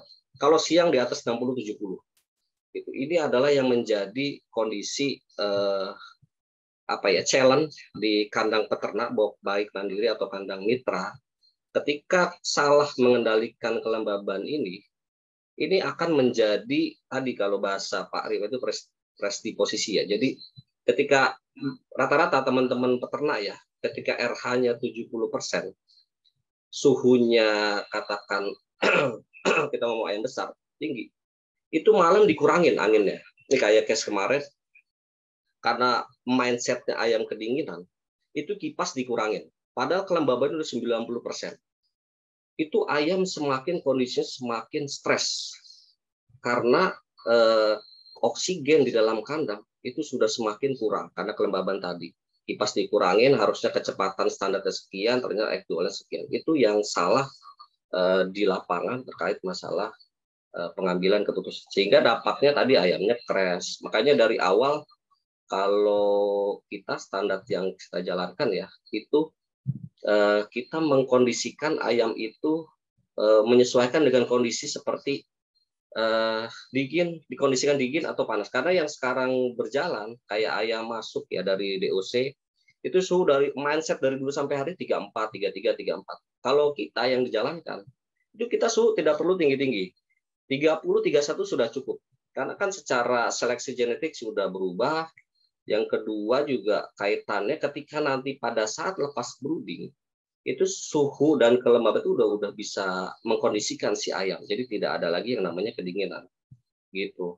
Kita nggak ngomong kalau bagaimana cara menurunkan kelembaban. Sebetulnya simpel, dipanaskan. Tapi kalau kita pakai heater dari nol sampai apa eh, panen, itu kan nggak mungkin karena costnya tinggi.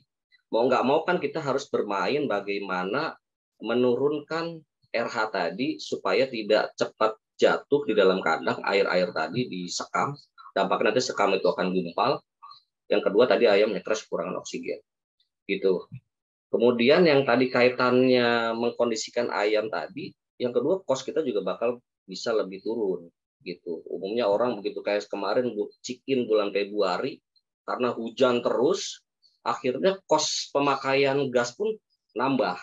Nah ini di kita enggak, bahkan kita ada brooding salah satu customer saya di Subang ya, itu butuh brooding hanya tujuh hari. Tujuh hari udah lepas brooding. Tapi dengan konsep eh, ventilasinya pas, dengan kita nanti kita ukur semua ruangan kandang. Yang kedua adalah secara memang settingan ventilasi, kemudian manajemen sekam, itu kita monitor benar, ternyata memang bisa. gitu Dan kemarin panen terakhir itu IP-nya sekitar 452 itu berat 2 kilo ke atas. FC di sekitar di 14 ke bawah gitu. Kemudian yang kedua tadi e, menyimpulkan juga Pak Dokter Wanti Toma itu e, masalah amoniak nah, ini setuju saya musuh dalam kadang lah amoniak karena baru kemarin yang kaitan tadi kita ukur amoniaknya kalau pakai kertas lakmus itu udah di atas 10 ppm karena kan sekarang alat banyak ya ada yang pakai kertas lakmus ada yang pakai digital gitu ya kalau saya lebih prefer pakai kertas lakmus karena kan warna itu secara lebih apa ya jelas lah gitu. Nah ini kaitannya manajemen liter sekam. Nah kita yang kita lakukan supaya tadi tidak muncul lagi CRD tadi dan lain-lain bakteri itu sekam dari awal dibolak-balik. Dan yang selama ini selalu ada ada eh, apa standar harus 5 cm, 8 cm. Nah ini karena ini saya sharing isunya kondisi sekam juga lagi susah karena rebutan dengan beberapa pabrik dan harganya tinggi. Otomatis kos peternak pun akan naik. Nah, ini kita dari awal tidak perlu banyak serbut tebal, tapi dibalik di apa teman-teman kandang itu bolak-balik setiap hari. Kalau itu termaintain dengan baik, saya yakin sekam itu tidak akan gumpal. Tapi dibantu pada saat balik kita pakai tambah eh, kipas dengan eh, kondisi ayam pada umurnya ya standar berat badannya.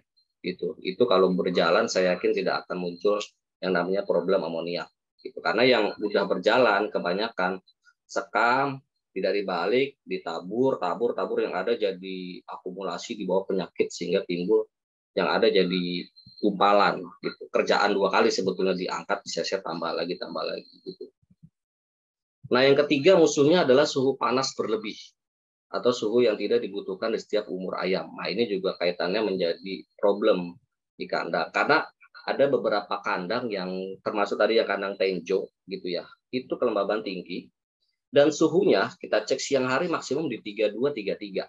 Tetapi yang salahnya adalah dia nyalakan cooling pad. Nah, ini juga berbahaya.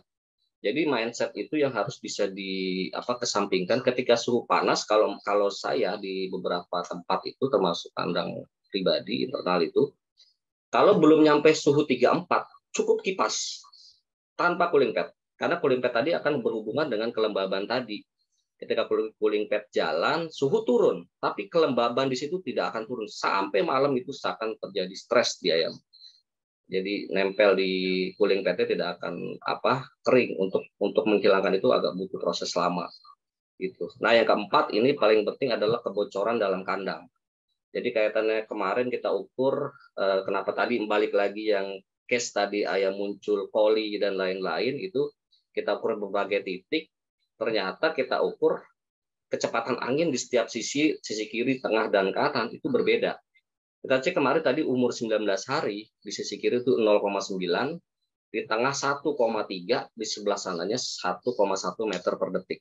Artinya ada satu titik yang kecepatan anginnya itu uh, tidak rata. Nah, setelah kita cek ternyata ada leaking di mana-mana. Nah, ini juga kaitannya terhadap uh, oksigen di dalam kandang termasuk kebutuhan angin. Nah, ini kan nanti jadi pemicu Eh, bakteri masuk dan lain-lain. Imunosupresif lah bahasanya kalau tadi Pak Dokter sampaikan gitu. Next. Next. Nah, ini ini yang selama ini yang kalau pendapat dan yang kita jalankan ya stigma yang harus dirubah adalah ayam kedinginan. Jadi memang kalau saya tanya kepada teman-teman ini kan saya lihat pesertanya udah 200 udah luar biasa lah tidak ada ayam mati karena kedinginan. Nah ini tadi kembali ada ada peternak yang mindsetnya dulu bikin ayam kedinginan kipas dikurangin. Sebetulnya salah. Kalau kipas dikurangin, karena nggak ada pilihan. Ketika kelembaban tinggi, kipas dikurangin, ayam nyetrek. ketika kipas ditambah, ayam tiarap. Nah, nggak ada pilihan. Oh, itu harus diambil eh, risiko yang paling minim supaya tadi nggak muncul yang namanya ketika tadi kalau ayam kedinginan kipas dikurangin yang ada ayamnya crack, timbulah tadi ada poli, penyakit dan lain-lain koksi dan lain-lain lah gitu. Next. Nah, ini yang yang kami lakukan ya setiap masuk di kandang ayam supaya tadi nanti eh, teman-teman mohon koreksi. Jadi kalau yang pertama kita lihat ayam makan dan minum itu pasti ya supaya nyaman. Ayam main itu artinya uh, tidur-tiduran, loncat ya. Kemudian ayam bersuara, ayam beristirahat, ayam nggak berkerumun. Kalau yang video tadi itu ayam minggir semua, ya karena tadi kondisinya sudah ada apa penyakit yang masuk, ada akumulasi dari awal. Kemudian yang paling simple adalah masuk ketika mata perih, nah itu berarti amoniak sudah tinggi. Kalau eh, tidak based on alat ya, gitu. Next.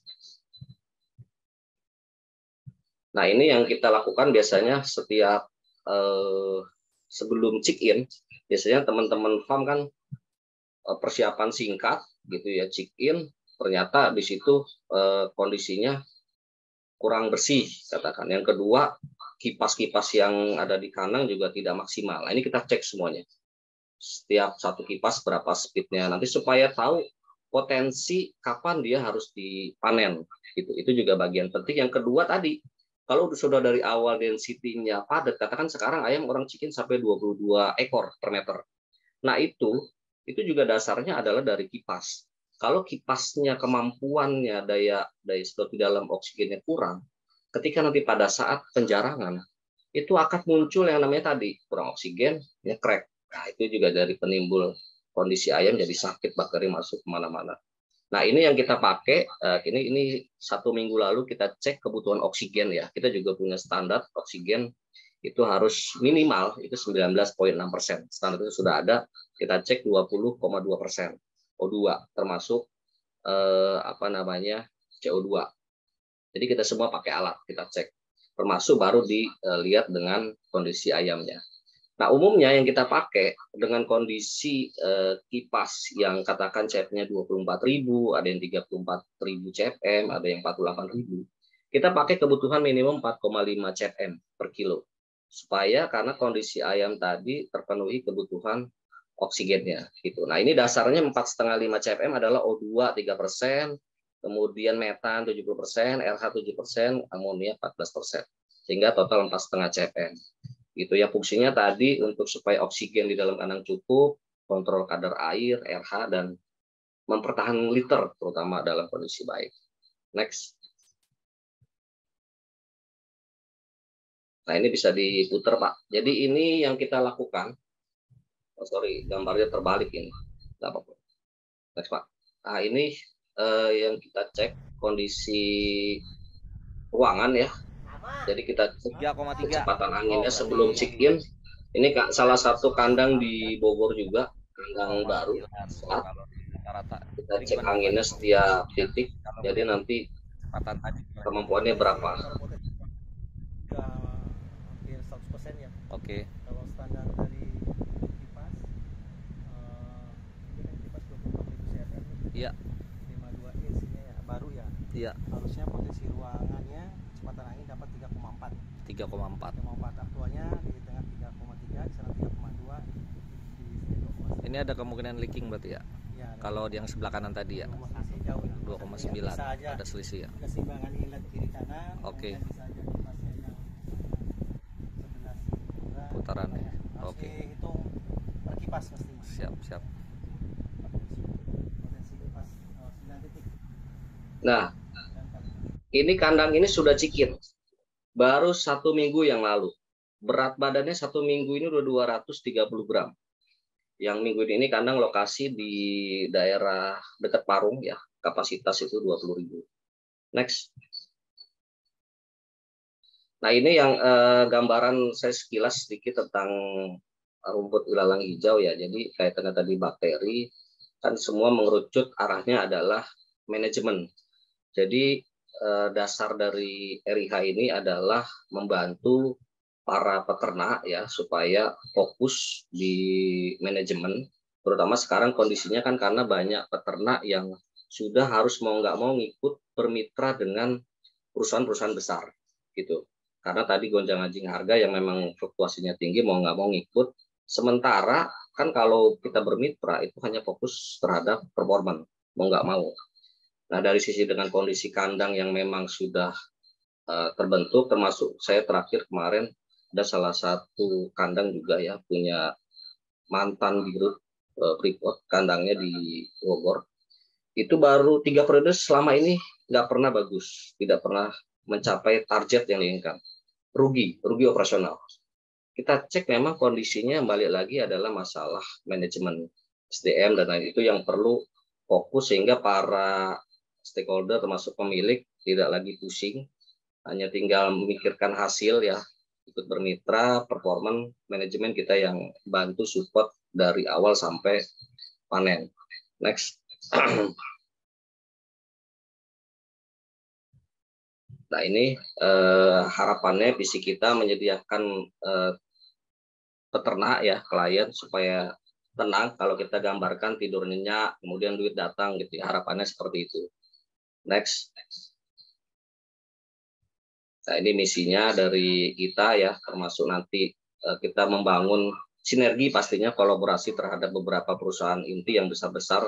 Karena memang saat ini kondisinya juga eh, ada apa kebijakan cutting dan lain-lain terlepas masalah supply DOC dan lain pertama itu akan menjadi kendala di mitra ya tentu kaitannya chicken gitu. Next next nah ini yang kita lakukan dengan eh, kerjasama ya terhadap klien ya jadi ada mitra ada inti, ada mitra, Erika di dalamnya yang kelola untuk masalah manajemen. Termasuk kita punya, saya ada kandang internal juga di Bogor, kapasitas 120 ribu. Masuk ada beberapa peternak mandiri yang kita kelola, karena dia marketnya sudah luas, sehingga dia marketnya sudah ada, tinggal produksi, ada yang kelola manajemen. Jadi tinggal terima hasil. gitu. Next. Ya demikian eh, sekilas apa yang di saya sharing ya. Mudah-mudahan bermanfaat.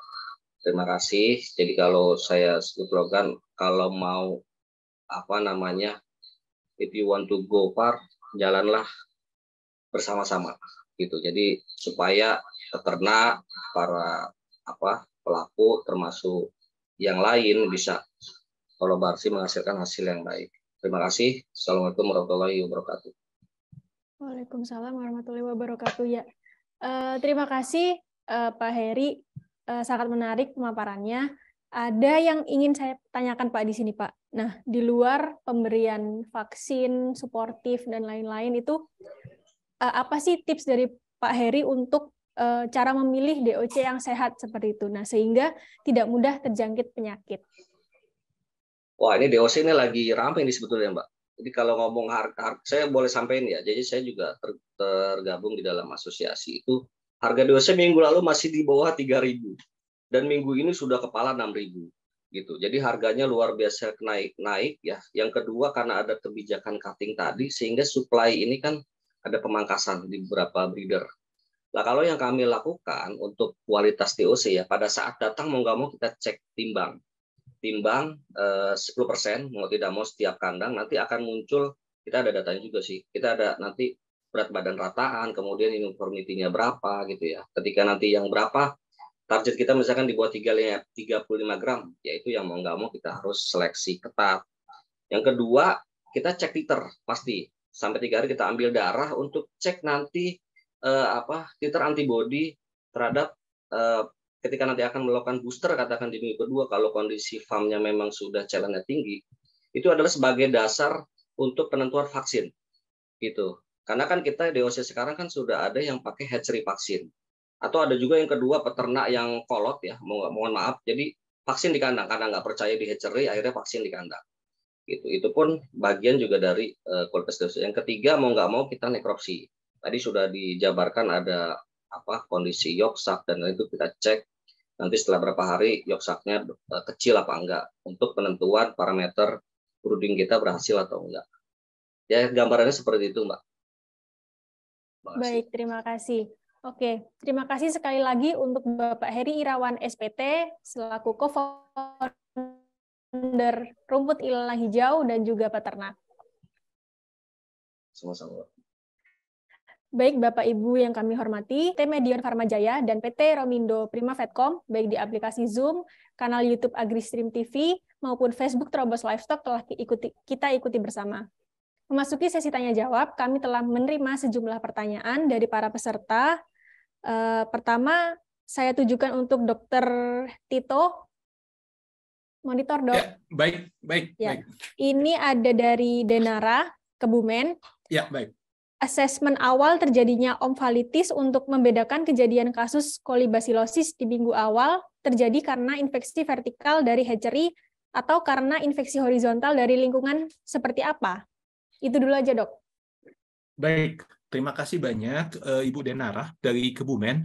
Jadi sebetulnya kalau kita bicara mengenai infeksi E. coli atau kolibasilosis, sebetulnya dia tidak ditularkan secara vertikal sebetulnya. Jadi uh, pada kasus kolibasilosis, kalau misalnya dia memang sudah menginfeksi induknya dan menyebabkan kelainan pada uh, indung telur atau folikel telur, itu biasanya akan membuat follicle telurnya kan jadi menggumpal ya, sehingga nanti embrionya mati. Jadi sehingga ya telurnya tidak menetas, gagal menetas untuk menjadi DOC. Jadi yang mungkin kami tahu dari kebanyakan kasus uh, kolibasilosis yang menyebabkan infeksi kantung kuning telur itu lebih banyak berasal dari mungkin salah satunya bisa dari hatchery, bisa dari kandang. Jadi ya hmm. kalau dari hatchery biasanya setelah DOC baru datang, uh, kita bisa lihat terutama dari ininya uh, Bu dari pusarnya. Jadi kalau pusarnya dia bengkak, merah atau bahkan keropengnya besar, itu menandakan yang kita sebut radang pusar. Ada istilah kedokterannya, istilah medis namanya omfalitis. Itu pasti di dalam kan kuning uh, kuning telurnya itu pasti terinfeksi, ada radang kuning telur dan dia akan menggumpal. Nah, dari pengalaman kami sih kalau untuk infeksi vertikal kolibasilosis bisa dikesampingkan sebetulnya. Lebih banyak uh, sumbernya itu adalah infeksi di apakah di hatchery atau ketika dia baru uh, datang di kandang. Nah, uh, biasanya paling banyak memang kemungkinan tuh di penetasan, apalagi kalau kita periksa di DOC DOC umur muda ya. Karena ini ketika hatching atau menetas itu kan uh, pusatnya itu kan terlepas ya, sehingga akibatnya ada luka. Nah, apabila ada kontaminasi di dalam mesin penetasan di hatchery, luka di pusat itu mudah terkena si bakteri, sehingga akibatnya terjadi infeksi dan kalau terjadi infeksi di uh, pusar itu dia akan langsung menyebar karena pusar dengan kuning telur itu kan nyatu ya, dia akan menyebar ke kuning telur dengan mudah. Itu yang paling banyak kami temukan. Jadi lebih ke uh, infeksinya horizontal sebetulnya dibandingkan vertikal. Ada beberapa kasus uh, memang misalnya saya ambil contoh salmonella misalnya seperti salmonella pulorum kan bisa menular vertikal. Tetapi pada kasus-kasus uh, penularan salmonella pulorum yang vertikal hampir tidak kita temukan bisa bisa kita uh, jadi di dalam telurnya itu ada salmonellanya gitu ya tetapi pada kasus tersebut biasanya si Salmonella pulorum ini ketika dia awal-awal penetasan jumlah Salmonella pulorum itu biasanya sedikit. Uh, maaf awal-awal pengeraman bau keluar. Nah biasanya di di atas minggu kedua mendekati minggu ketiga karena kan panas ya lingkungannya jumlah salmonellanya meningkat sehingga makin banyak dan kemudian baru terjadi infeksi kuning telur. Tapi uh, kalau yang kami temukan kasus infeksi vertikal Salmonella pulorum itu kelihatannya sih tidak sebanyak dengan kasus kolibasilosis. Soalnya ya ketika kami lakukan isolasi dari kasus-kasus di lapang, kebanyakan kami temukan uh, coli, e. uh, e. coli dibandingkan Salmonella pulorum. Seringnya begitu. Oke. Uh, lebih sering uh, horizontal sebenarnya untuk kasus kolibasilosis. Ya. Oke. Kemudian yang kedua ada dari Navi Sinar Group. Iya. Ada dua pertanyaan, Dok. Yang Baik. pertama untuk pencegahan bakteri, salah satunya flushing ya, Dok. Bagaimana cara Iya. flushing yang benar? Pakai desinfektan apa? Tekanan air berapa? Dan cara pengecekan berhasil atau tidaknya bagaimana? Oh, baik. Eh, terima kasih, Pak. Eh, tadi sebetulnya dari Pak Nafi, terima kasih pertanyaannya. Tadi dari Pak eh, apa namanya Pak Rifai, eh, Dokter Rifai, ya, itu sudah menerangkan mengenai tekniknya. Jadi tekanan 1,5 sampai 3 bar. Jadi menggunakan tekanan, kemudian ada yang pakai bahan kimia dan kemudian menggunakan ultrasonik tadi ya. Nah, dilakukan eh, salah satunya adalah tadi rekomendasinya satu kali per minggu atau 3 sampai 4 kali per minggu. Jadi eh, cukup sering lebih baik. Tetapi memang kalau bagi saya mungkin yang mudah di lapang salah satunya adalah dengan menggunakan tekanan. Jadi apakah eh, harus pakai desinfektan? Ya, kalau mau pakai desinfektan oke. Tapi kalau menurut saya setidaknya dengan Bapak misalnya mengaplikasikan dengan menggunakan air saja, setidaknya untuk melepas dulu, Pak melepas lapisannya. Jadi tekanan itu akan dengan mudah melepas lapisan eh, biofilm. Jadi lapisannya itu seperti lumut ya Pak, tipis di permukaan dalam. Soalnya kalau disikat nggak bisa. Jadi kalau kita pakai tekanan, lapisannya lepas, itu sudah eh, meruntuhkan biofilmnya. Baru habis itu kita aplikasikan eh, desinfek desinfektannya. Jadi itu mungkin yang eh, bisa saya berikan. Dan kapan? ya satu kali per minggu atau tiga sampai empat kali per minggu memungkinkan ya kalau bisa itu baik cuma memang kita harus memperhatikan salah satunya adalah tingkat stres di ayam ya setidaknya menurut saya yang paling penting karena memang tidak terlalu sering dilakukan nih setidaknya adalah ketika sebelum ayam datang Eh, ketika masa kandang kosong flushing itu harus dilakukan jadi sampai betul-betul lapisan biofilm di dalam itu rontok dengan itu setidaknya yang paling krusial di situ. Jika kita bisa memungkinkan lebih sering ya jauh lebih baik. Mungkin itu. Oh ya, kualitas air. Oke, saya memang bukan eh, praktisi ya, tapi memang mungkin salah satunya adalah kalau untuk kualitas air, salah satu yang ini adalah ya kualitas air secara umum logam berat dan sebagainya bisa diperiksa, tetapi mungkin kalau kita bicara dengan penyakit bakterial sekarang, ada satu parameter yang mungkin menurut saya bisa diamati, yaitu yang kita sebut dengan kandungan coliform namanya. Coliform itu adalah jenis bakteri yang ada di saluran pencernaan. Salah satunya adalah E. coli. Salmonella juga termasuk coliform. Jadi bakteri-bakteri menyebabkan sakit itu masuk dalam golongan coliform. Nah, kita bisa periksa tuh eh, airnya di lab. Untuk kualitas air, eh, saya ambil dari ketentuan Permenkes saja. Jadi Permenkes eh, itu me- untuk air sumur ya itu kira-kira eh, kandungannya coliformnya adalah 50 CFU. CFU itu colony forming unit ya per 100 ml air. Itu untuk air sumur. Kalau untuk air minum, coliformnya ya harus nol sebetulnya. Tapi karena ini bukan untuk air minum, eh, minimal adalah 50 per 100 ml. Akan lebih baik juga kalau dia sampai 10 CFU per 100 ml. Itu nomor satu yang menurut karena eh, standarnya antara tadi 10 sampai 50. Berarti artinya di atas angka itu itu tandanya bahwa ya kemungkinan kita harus melakukan desinfeksi untuk menurunkan eh, kadar coliform karena dengan ada kalau, kalau kadar coliform tinggi bakterinya yang dari usus E. coli, salmonella dan sebagainya kemungkinan juga akan lebih banyak. Mungkin itu Pak, itu yang bisa diperiksa. Oke, itu sudah menjawab yang nomor dua sekaligus ya dok ya? Ya, Baik.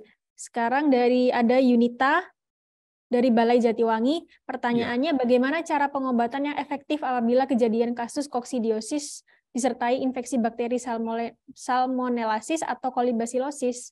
Apabila obat antikoksi diberikan bersamaan dengan antibiotik dalam satu hari, apakah efektif? Atau terapi koksidiosis dulu, baru terapi antibiotik atau sebaliknya?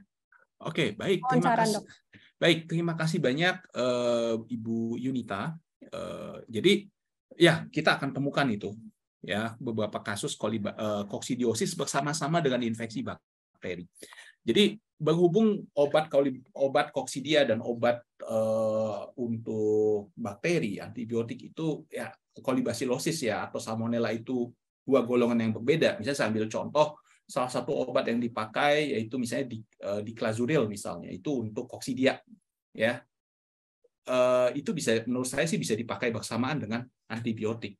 Karena kalau kita tangani satu dulu di klazuril uh, kita tangani koksidiosis dulu tapi uh, bakterinya tidak kemungkinan kerusakan karena bakteri. Kenapa? Bahwa bakteri seperti koksi eh, maaf E. coli, kolibasilosis maupun salmonella kan tidak hanya menyerang usus ya. Koksidia kan menyerang usus saja, tapi bakteri-bakteri ini kan tidak hanya menyerang usus, menyerang hati, menyerang saluran pernapasan.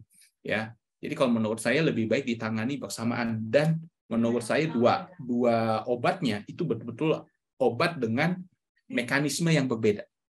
Ya, jadi kalau obat koksidia seperti diklazuil dia mematikan uh, stadium perkembangan parasit koksidia ya yang ada di dalam sel, sedangkan uh, antibiotik dia ya menghambat perkembangan atau merusak dinding sel dari uh, bakteri. Jadi menurut saya lebih baik, menurut saya ada baiknya dilakukan bersamaan menurut saya. Oke. Okay. Baik. Selanjutnya ada Laili. Ya. Uh, apakah setiap kasus penyakit infeksi akibat bakteri selalu diawali dengan kejadian disbakteriosis? Seberapa besar prevalensi akibat disbakteriosis untuk menjadi parah sampai muncul kejadian salmonellosis atau kolibasilosis. Bagaimana pencegahan disbakteriosis ini? Baik, terima kasih banyak eh, Mbak Laili. Jadi dis, mungkin ada yang belum familiar disbakteriosis itu apa? Disbakteriosis itu adalah ketidakseimbangan mikroflora normal di dalam usus.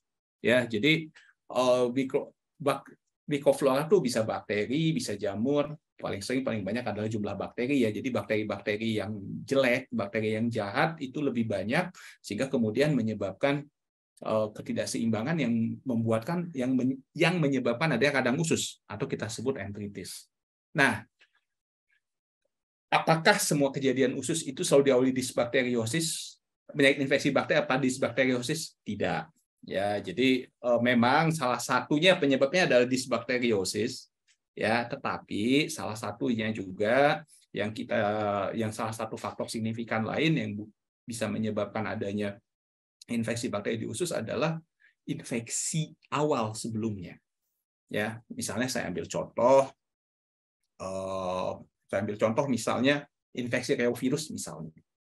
Ya atau ada infeksi sekarang astrovirus namanya. Virus-virus ini kan menyebabkan satu kondisi yang kita sebut dengan sindroma malabsorpsi. Nah, enteritis karena sindroma malabsorpsi selain menyebabkan imunosupresi, menyebabkan kerusakan pada sel-sel di permukaan usus, ya di usus yang berfungsi untuk penyerapan. Nah, itu menjadi jalan masuk bakteri untuk masuk untuk menyerang sel dan kemudian menyebabkan kerusakan. Oke, jadi itu juga salah satu faktor. Jadi tidak selalu bakterio, disbakteriosis penyebabnya. Nah, kemudian eh, disbakteriosis ini memang cukup signifikan ya, kasusnya banyak. Nah, bagaimana pencegahannya? Ya ada ada pertanyaan mengenai pencegahan. Jadi mungkin saya boleh ini dulu ya, eh, Mbak Gubela, saya coba uh, share dulu. Nah, ini adalah salah satu makalah, mohon maaf. Jadi ini uh, mudah-mudahan kelihatan makalahnya. Ini uh, ini makalah tahun 2017. Dulu kan sebelumnya untuk mengendalikan atau menghambat terjadinya disbakteriosis ya ketidakseimbangan bakteri adalah dengan menggunakan antibiotik growth promoter sebelumnya. Di sini ada contohnya ada afilamisin dan sebagainya, virginiamycin. Jadi kalau kita lihat eh, bakteri ini sebenarnya dia eh, mempengaruhi ini nih keseimbangan dari jenis-jenis bakteri nih. Ini ada bakteri namanya Firmicutes, Bacteroidetes. Nah, keseimbangan ini yang dipengaruhi. Jadi keseimbangan dari firmicutes-nya itu biasanya katanya ya berdasarkan literatur antara jadi rasio antara firmicutes dibandingkan bakteri yang namanya Bacteroidetes ini adalah 6 banding 120. Oke, tapi salah satu bakteri firmicutes ini ini ada bakteri yang eh, yang penting juga ada jenis bakterinya. Firmicutes ini salah satunya adalah Clostridium. Kalau pernah dengar ada Clostridium perfringens penyebab necrotic enteritis itu adalah golongan bakteri Firmicutes ini. Nah, yang namanya antibiotik growth promoter macam-macam ini jenisnya. Jadi kalau kita lihat ini Clostridium, ini yang warnanya 14B nih, ini yang warnanya biru nih. Kalau kita lihat dengan menggunakan berbagai jenis AGP ya, si Clostridium ini bisa dikurangi ini. Clostridium bisa dikurangi dan kalau kita lihat yang paling bagus nih misalnya Virginia mycin, bakteri yang ini nih yang yang merah nih, ini lactobacillus jadi lebih banyak.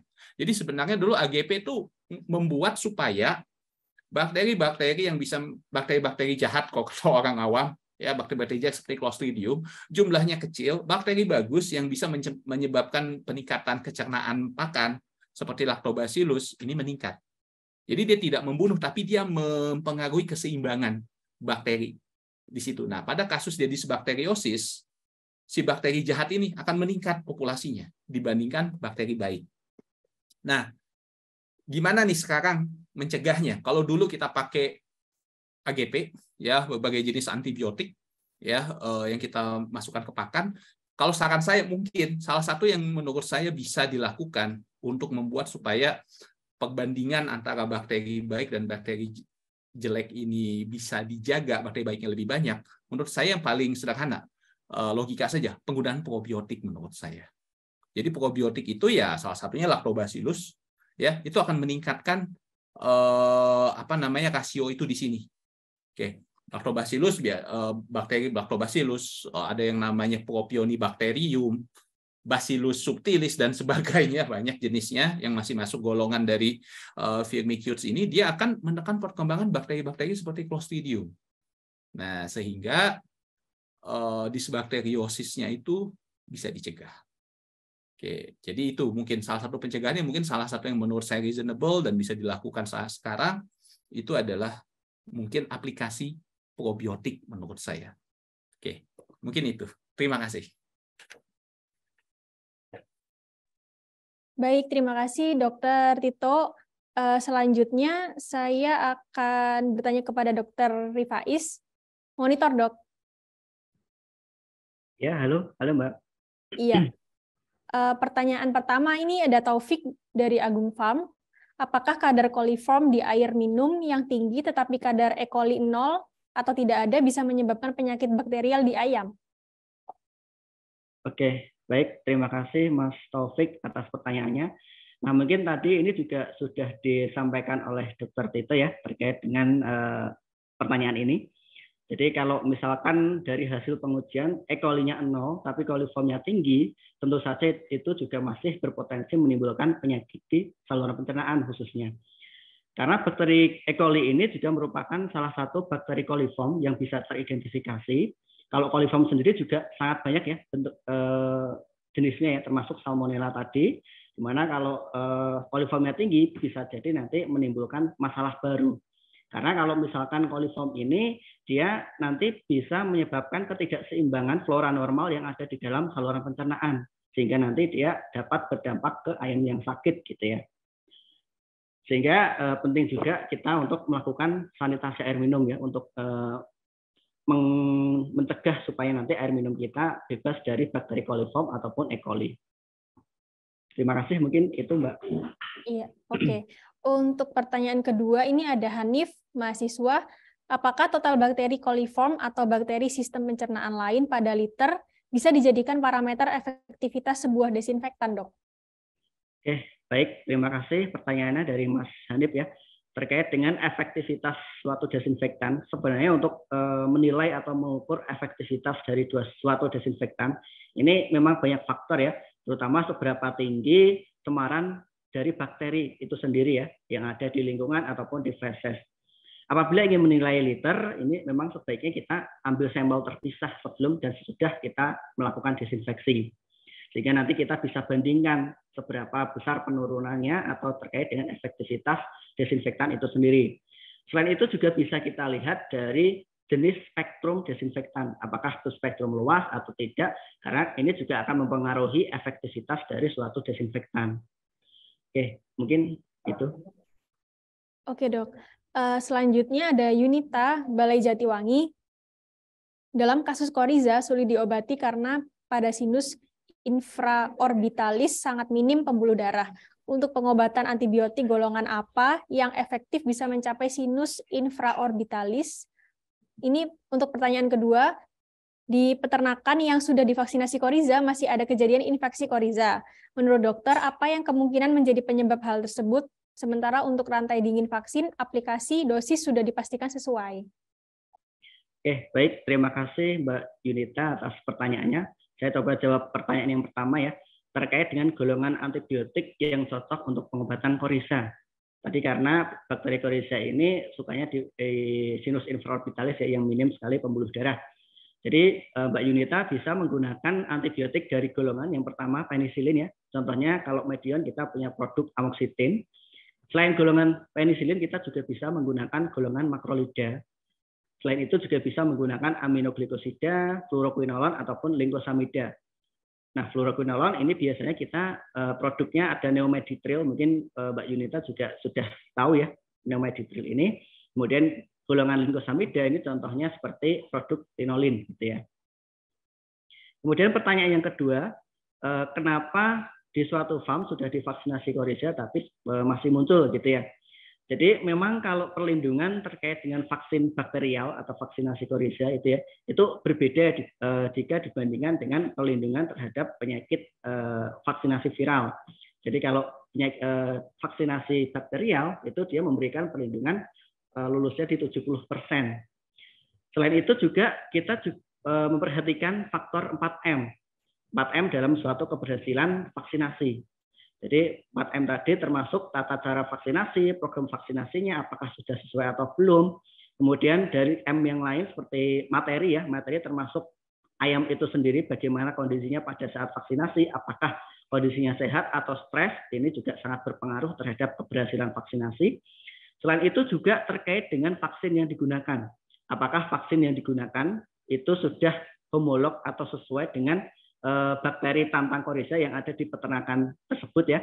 Jadi nanti untuk memastikannya sebenarnya kita bisa bantu dengan uji lab yaitu PCR dan sequencing itu untuk mengetahui karakterisasi dari eh, jenis bakteri korisa yang mana yang menyerang ke peternakan Bapak Ibu. Supaya nanti kita bisa cocok atau homolog antara Eh, bakteri yang ada di peternakan dan juga vaksin yang digunakan. Oke dok. Ya. Yang selanjutnya ada Ujang Maulana SPT dari PT Leong Hub Jaya Indo. Ada dua pertanyaan ya dok. Yang pertama, apakah ada penyakit lain yang mirip dengan snot? Kalau ada, mohon dijelaskan. Yang kedua, penyakit E. coli, apakah terjadi dengan kualitas air setiap daerah masing-masing? Kalau terjadi, mohon dijelaskan. Dan juga, apakah pengaruh dari lingkungan dingin dan panas berpengaruh? Terima kasih. Oke, baik. Terima kasih atas pertanyaannya dari Pak Ujang Maulana. Nah, saya coba jawab pertanyaan pertama. Apakah ada penyakit lain yang mirip dengan snot? Ya, jadi kalau snot atau korisa itu memang ada penyakit yang mirip atau yang kita sebut diferensial diagnosa atau diagnosa banding gitu ya. Jadi kalau korisa itu biasanya diagnosa bandingnya adalah penyakit SHS atau swollen head syndrome. Yang mana kita tahu kalau SHS ini biasanya disebabkan oleh Eh, metapneumovirus gitu ya. Sehingga nanti kalau SHS sendiri dari perubahan patologi anatominya nanti dia akan tampak eh, pembengkakan di daerah kepala, kemudian di bawah jaringan kulit itu tampak adanya cairan. Jadi tampak bengkak bergelembung gitu ya, ada cairannya gitu. Tapi kalau snot atau korisa itu kebengkakannya di daerah muka, terutama daerah sinus infraorbitalis atau di bawah mata. Selain itu kalau ada leleran di dalam hidungnya itu berbau khas amis busuk gitu ya. Kalau ini untuk uh, penyakit korisa. Jadi itu yang pertama untuk uh, diferensial diagnosa. Kemudian yang kedua, uh, pertanyaannya penyakit E. coli apakah terjadi dengan kualitas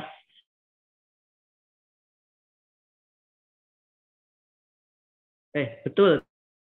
E. coli atau kolibasilosis salah satunya bisa dipicu oleh uh, adanya cemaran E. coli yang ada di air minum ayam.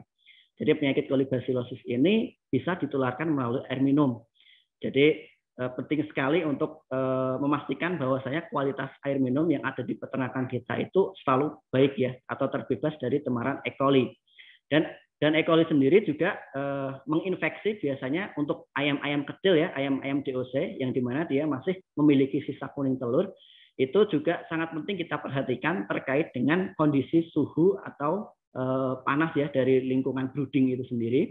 Karena nanti eh, kalau kondisi broodingnya itu nyaman, kemudian sesuai dengan target suhu yang diperlukan oleh DOC, nanti juga proses penyerapan kuning telur itu juga akan semakin lebih cepat dan semakin optimal.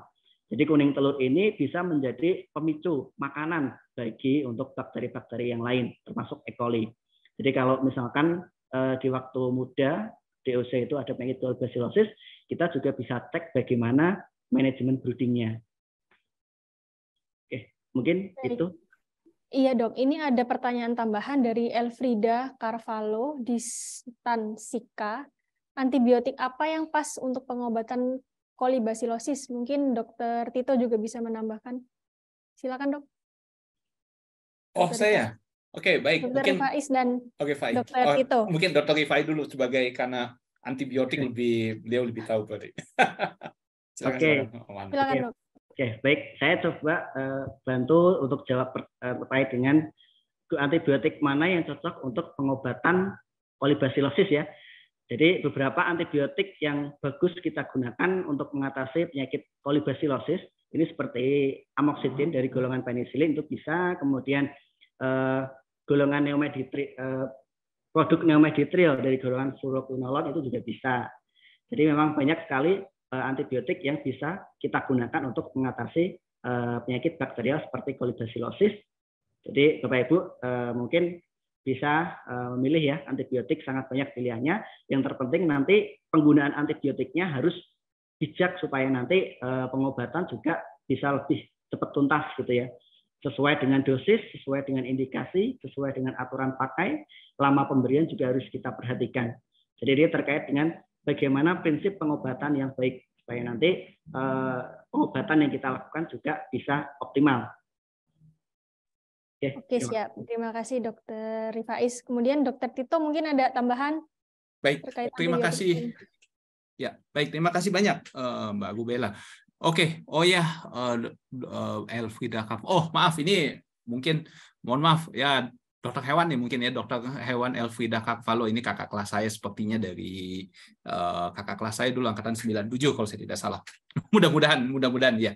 Oke, baik uh, sebelumnya tadi sudah disebutkan oleh dokter hewan Rifai mengenai berbagai jenis antibiotik. Salah satu adalah juga banyak antibiotik yang spektrum luas. Ya, betul. Jadi saya ya saya juga sependapat dalam artian uh, itu sebenarnya efektif, tetapi ada beberapa mungkin yang datang ke kami, ya tentunya periksa ayam adalah periksa nekropsinya ya, periksa benda bangkainya. Permasalahannya adalah katanya ini nyekrek, ngorok, tapi kok berulang lagi, berulang lagi. Nah, ada satu beberapa yang mungkin kami dapat dari beberapa kali kami melakukan pemeriksaan ayam beda bangkai. Satu, salah satunya adalah eh, kemungkinan resistensi. Ya, jadi ada beberapa kasus dia nyerah berkali-kali. Kami apa namanya sarankan juga untuk dari apa namanya kami kirim organnya eh, bakterinya diisolasi, diuji sensitivitas resistensi antibiotiknya ternyata ada beberapa resisten. Itu kemungkinan ya. Jadi udah diobati tapi kok masih muncul lagi ya resistensi. Tapi ada juga beberapa kasus adalah tadi eh, dokter Rifai mengatakan mengenai pemakaian dosis Nah, beberapa kasus yang kami temukan menariknya tidak sesuai anjuran. Dia kasih antibiotik cuma dua hari misalnya. Air minum cuma dua hari, nyekreknya eh, apa namanya nyekreknya kok masih ada. Nah itu, tetapi ada beberapa kasus yang kami amati, ya. Jadi hewannya ini antibiotik tidak ada masalah dengan resistensi, pemberian sudah sesuai dosis, tapi kok muncul lagi, muncul lagi. Ternyata salah satu masalahnya adalah penyakit karena kolibasilosis atau penyakit karena bakterinya itu dibarengi juga oleh penyakit-penyakit yang bersifat imunosupresan. Gitu.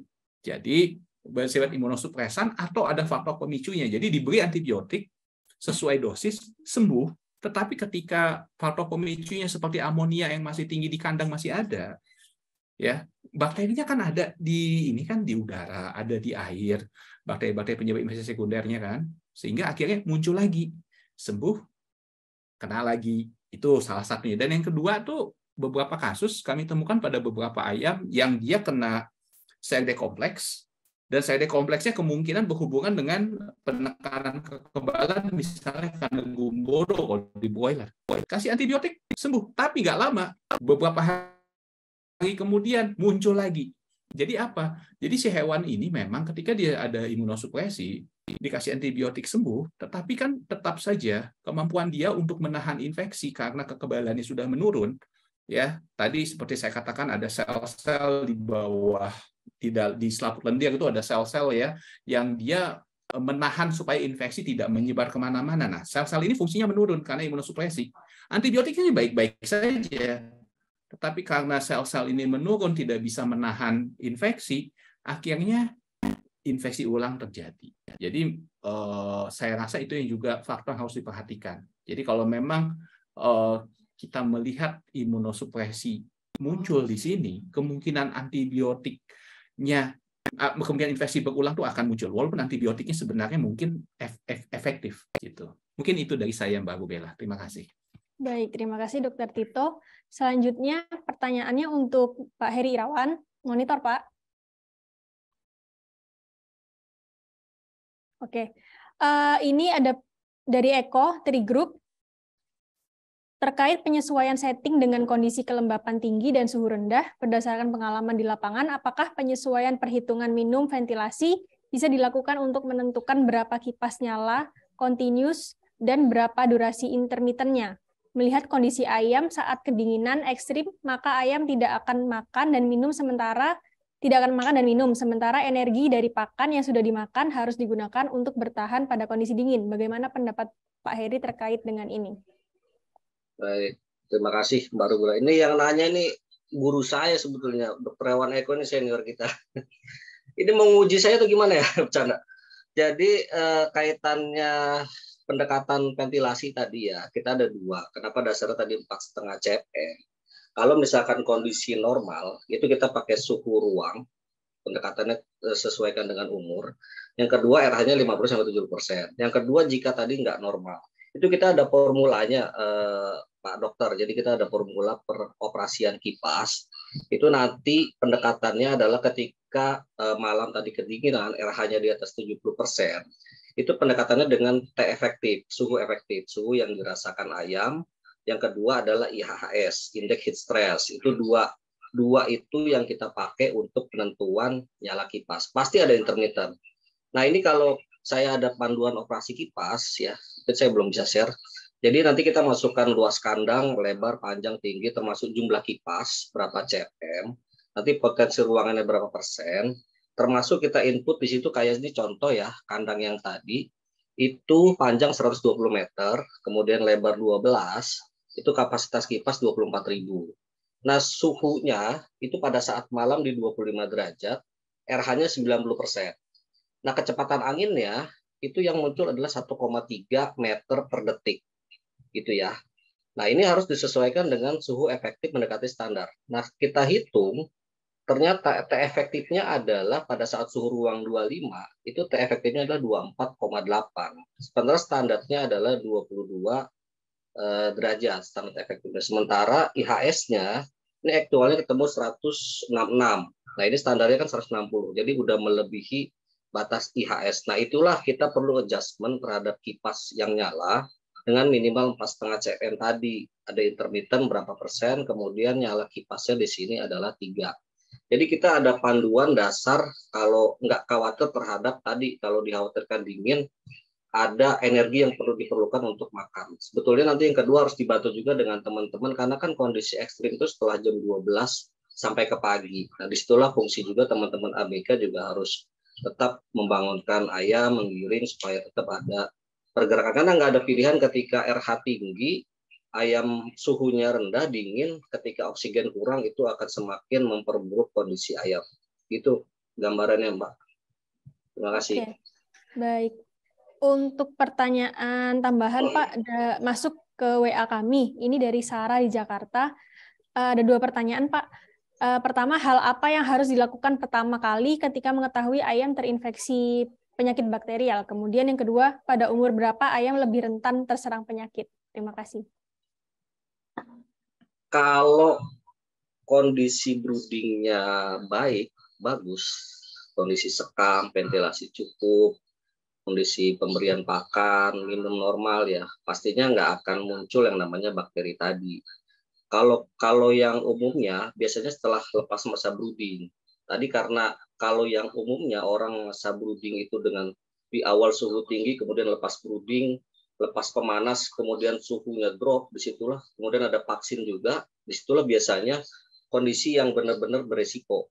Begitu heater lepas, pemanas lepas, kondisi sudah apa namanya suhu udah aktual ya, ayam kalau nggak siap, misalkan berat badan nggak tercapai, otomatis di situ akan lebih mudah masuk penyakit. Paling gitu Pak kondisinya. Baik, terima kasih Pak Heri Rawan. Terima kasih masih setia mengikuti acara ini. Kami lihat ada sekitar 191 partisipan yang mengikuti acara ini di aplikasi Zoom dan di kanal YouTube AgriStream TV sebanyak 10 viewers yang berasal dari berbagai wilayah di Indonesia.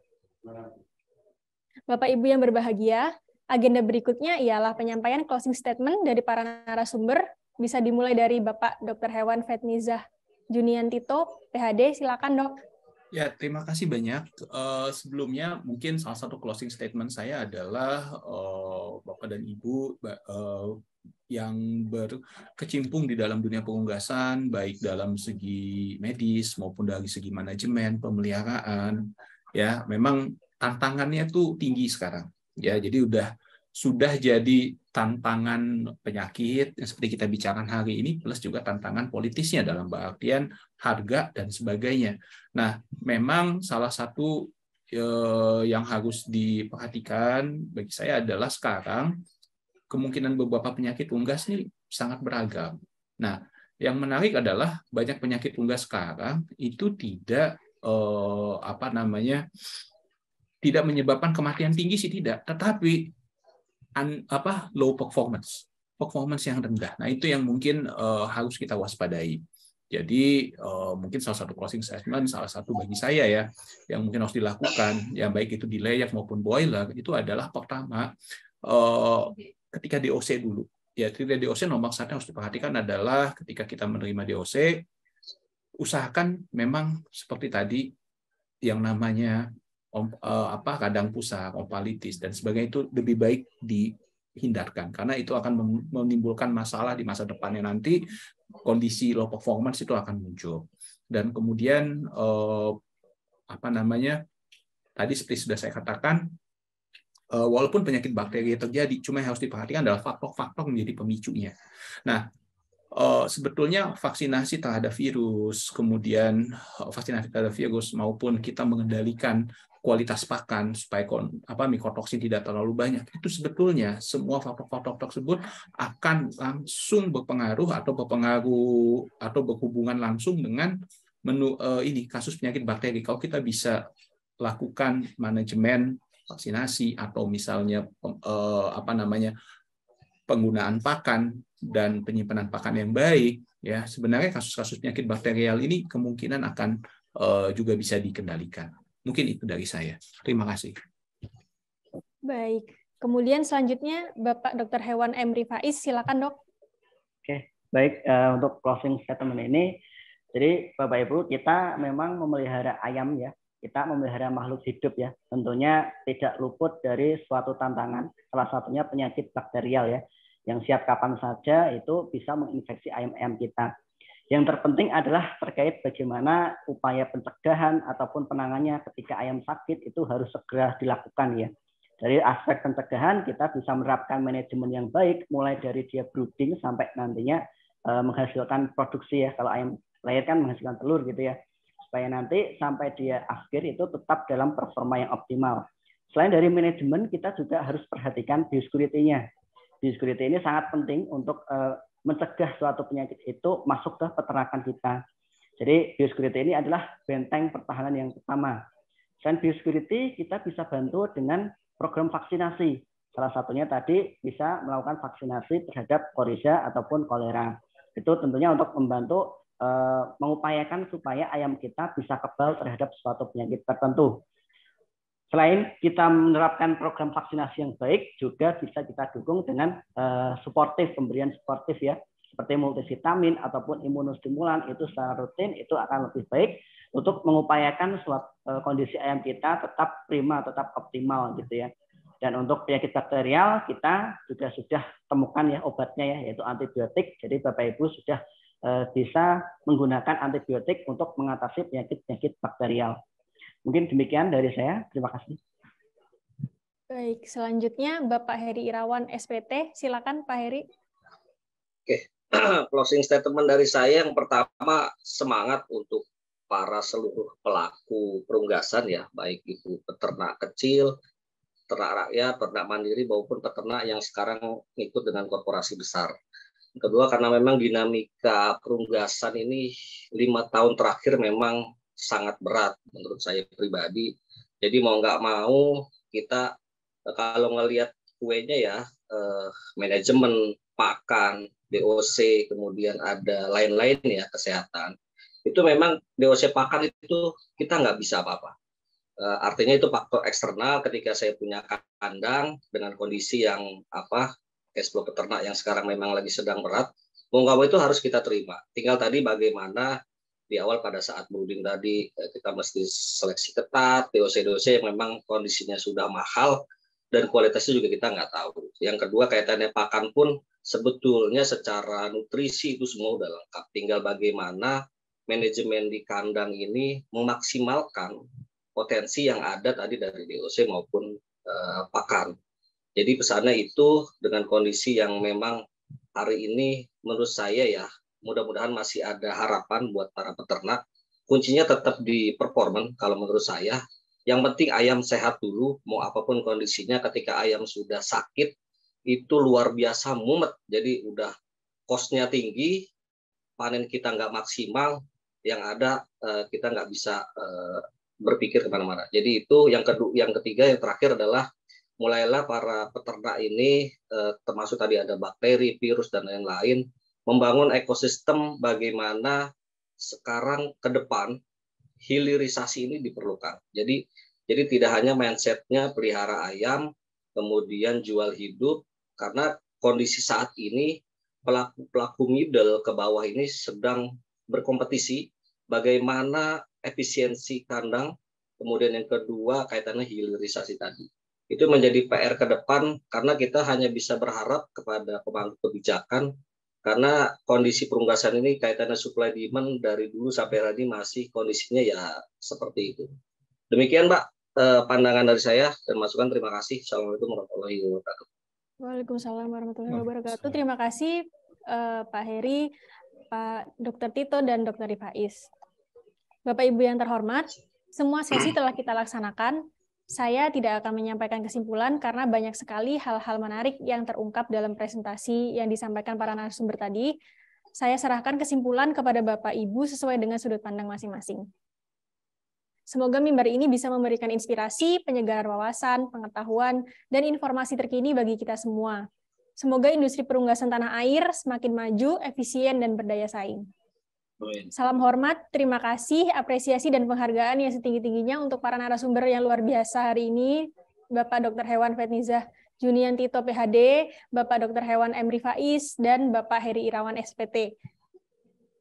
Terima kasih, apresiasi dan penghargaan yang setinggi-tingginya untuk para sponsor, yaitu PT Medion Farmajaya dan PT Romindo Prima Vetcom.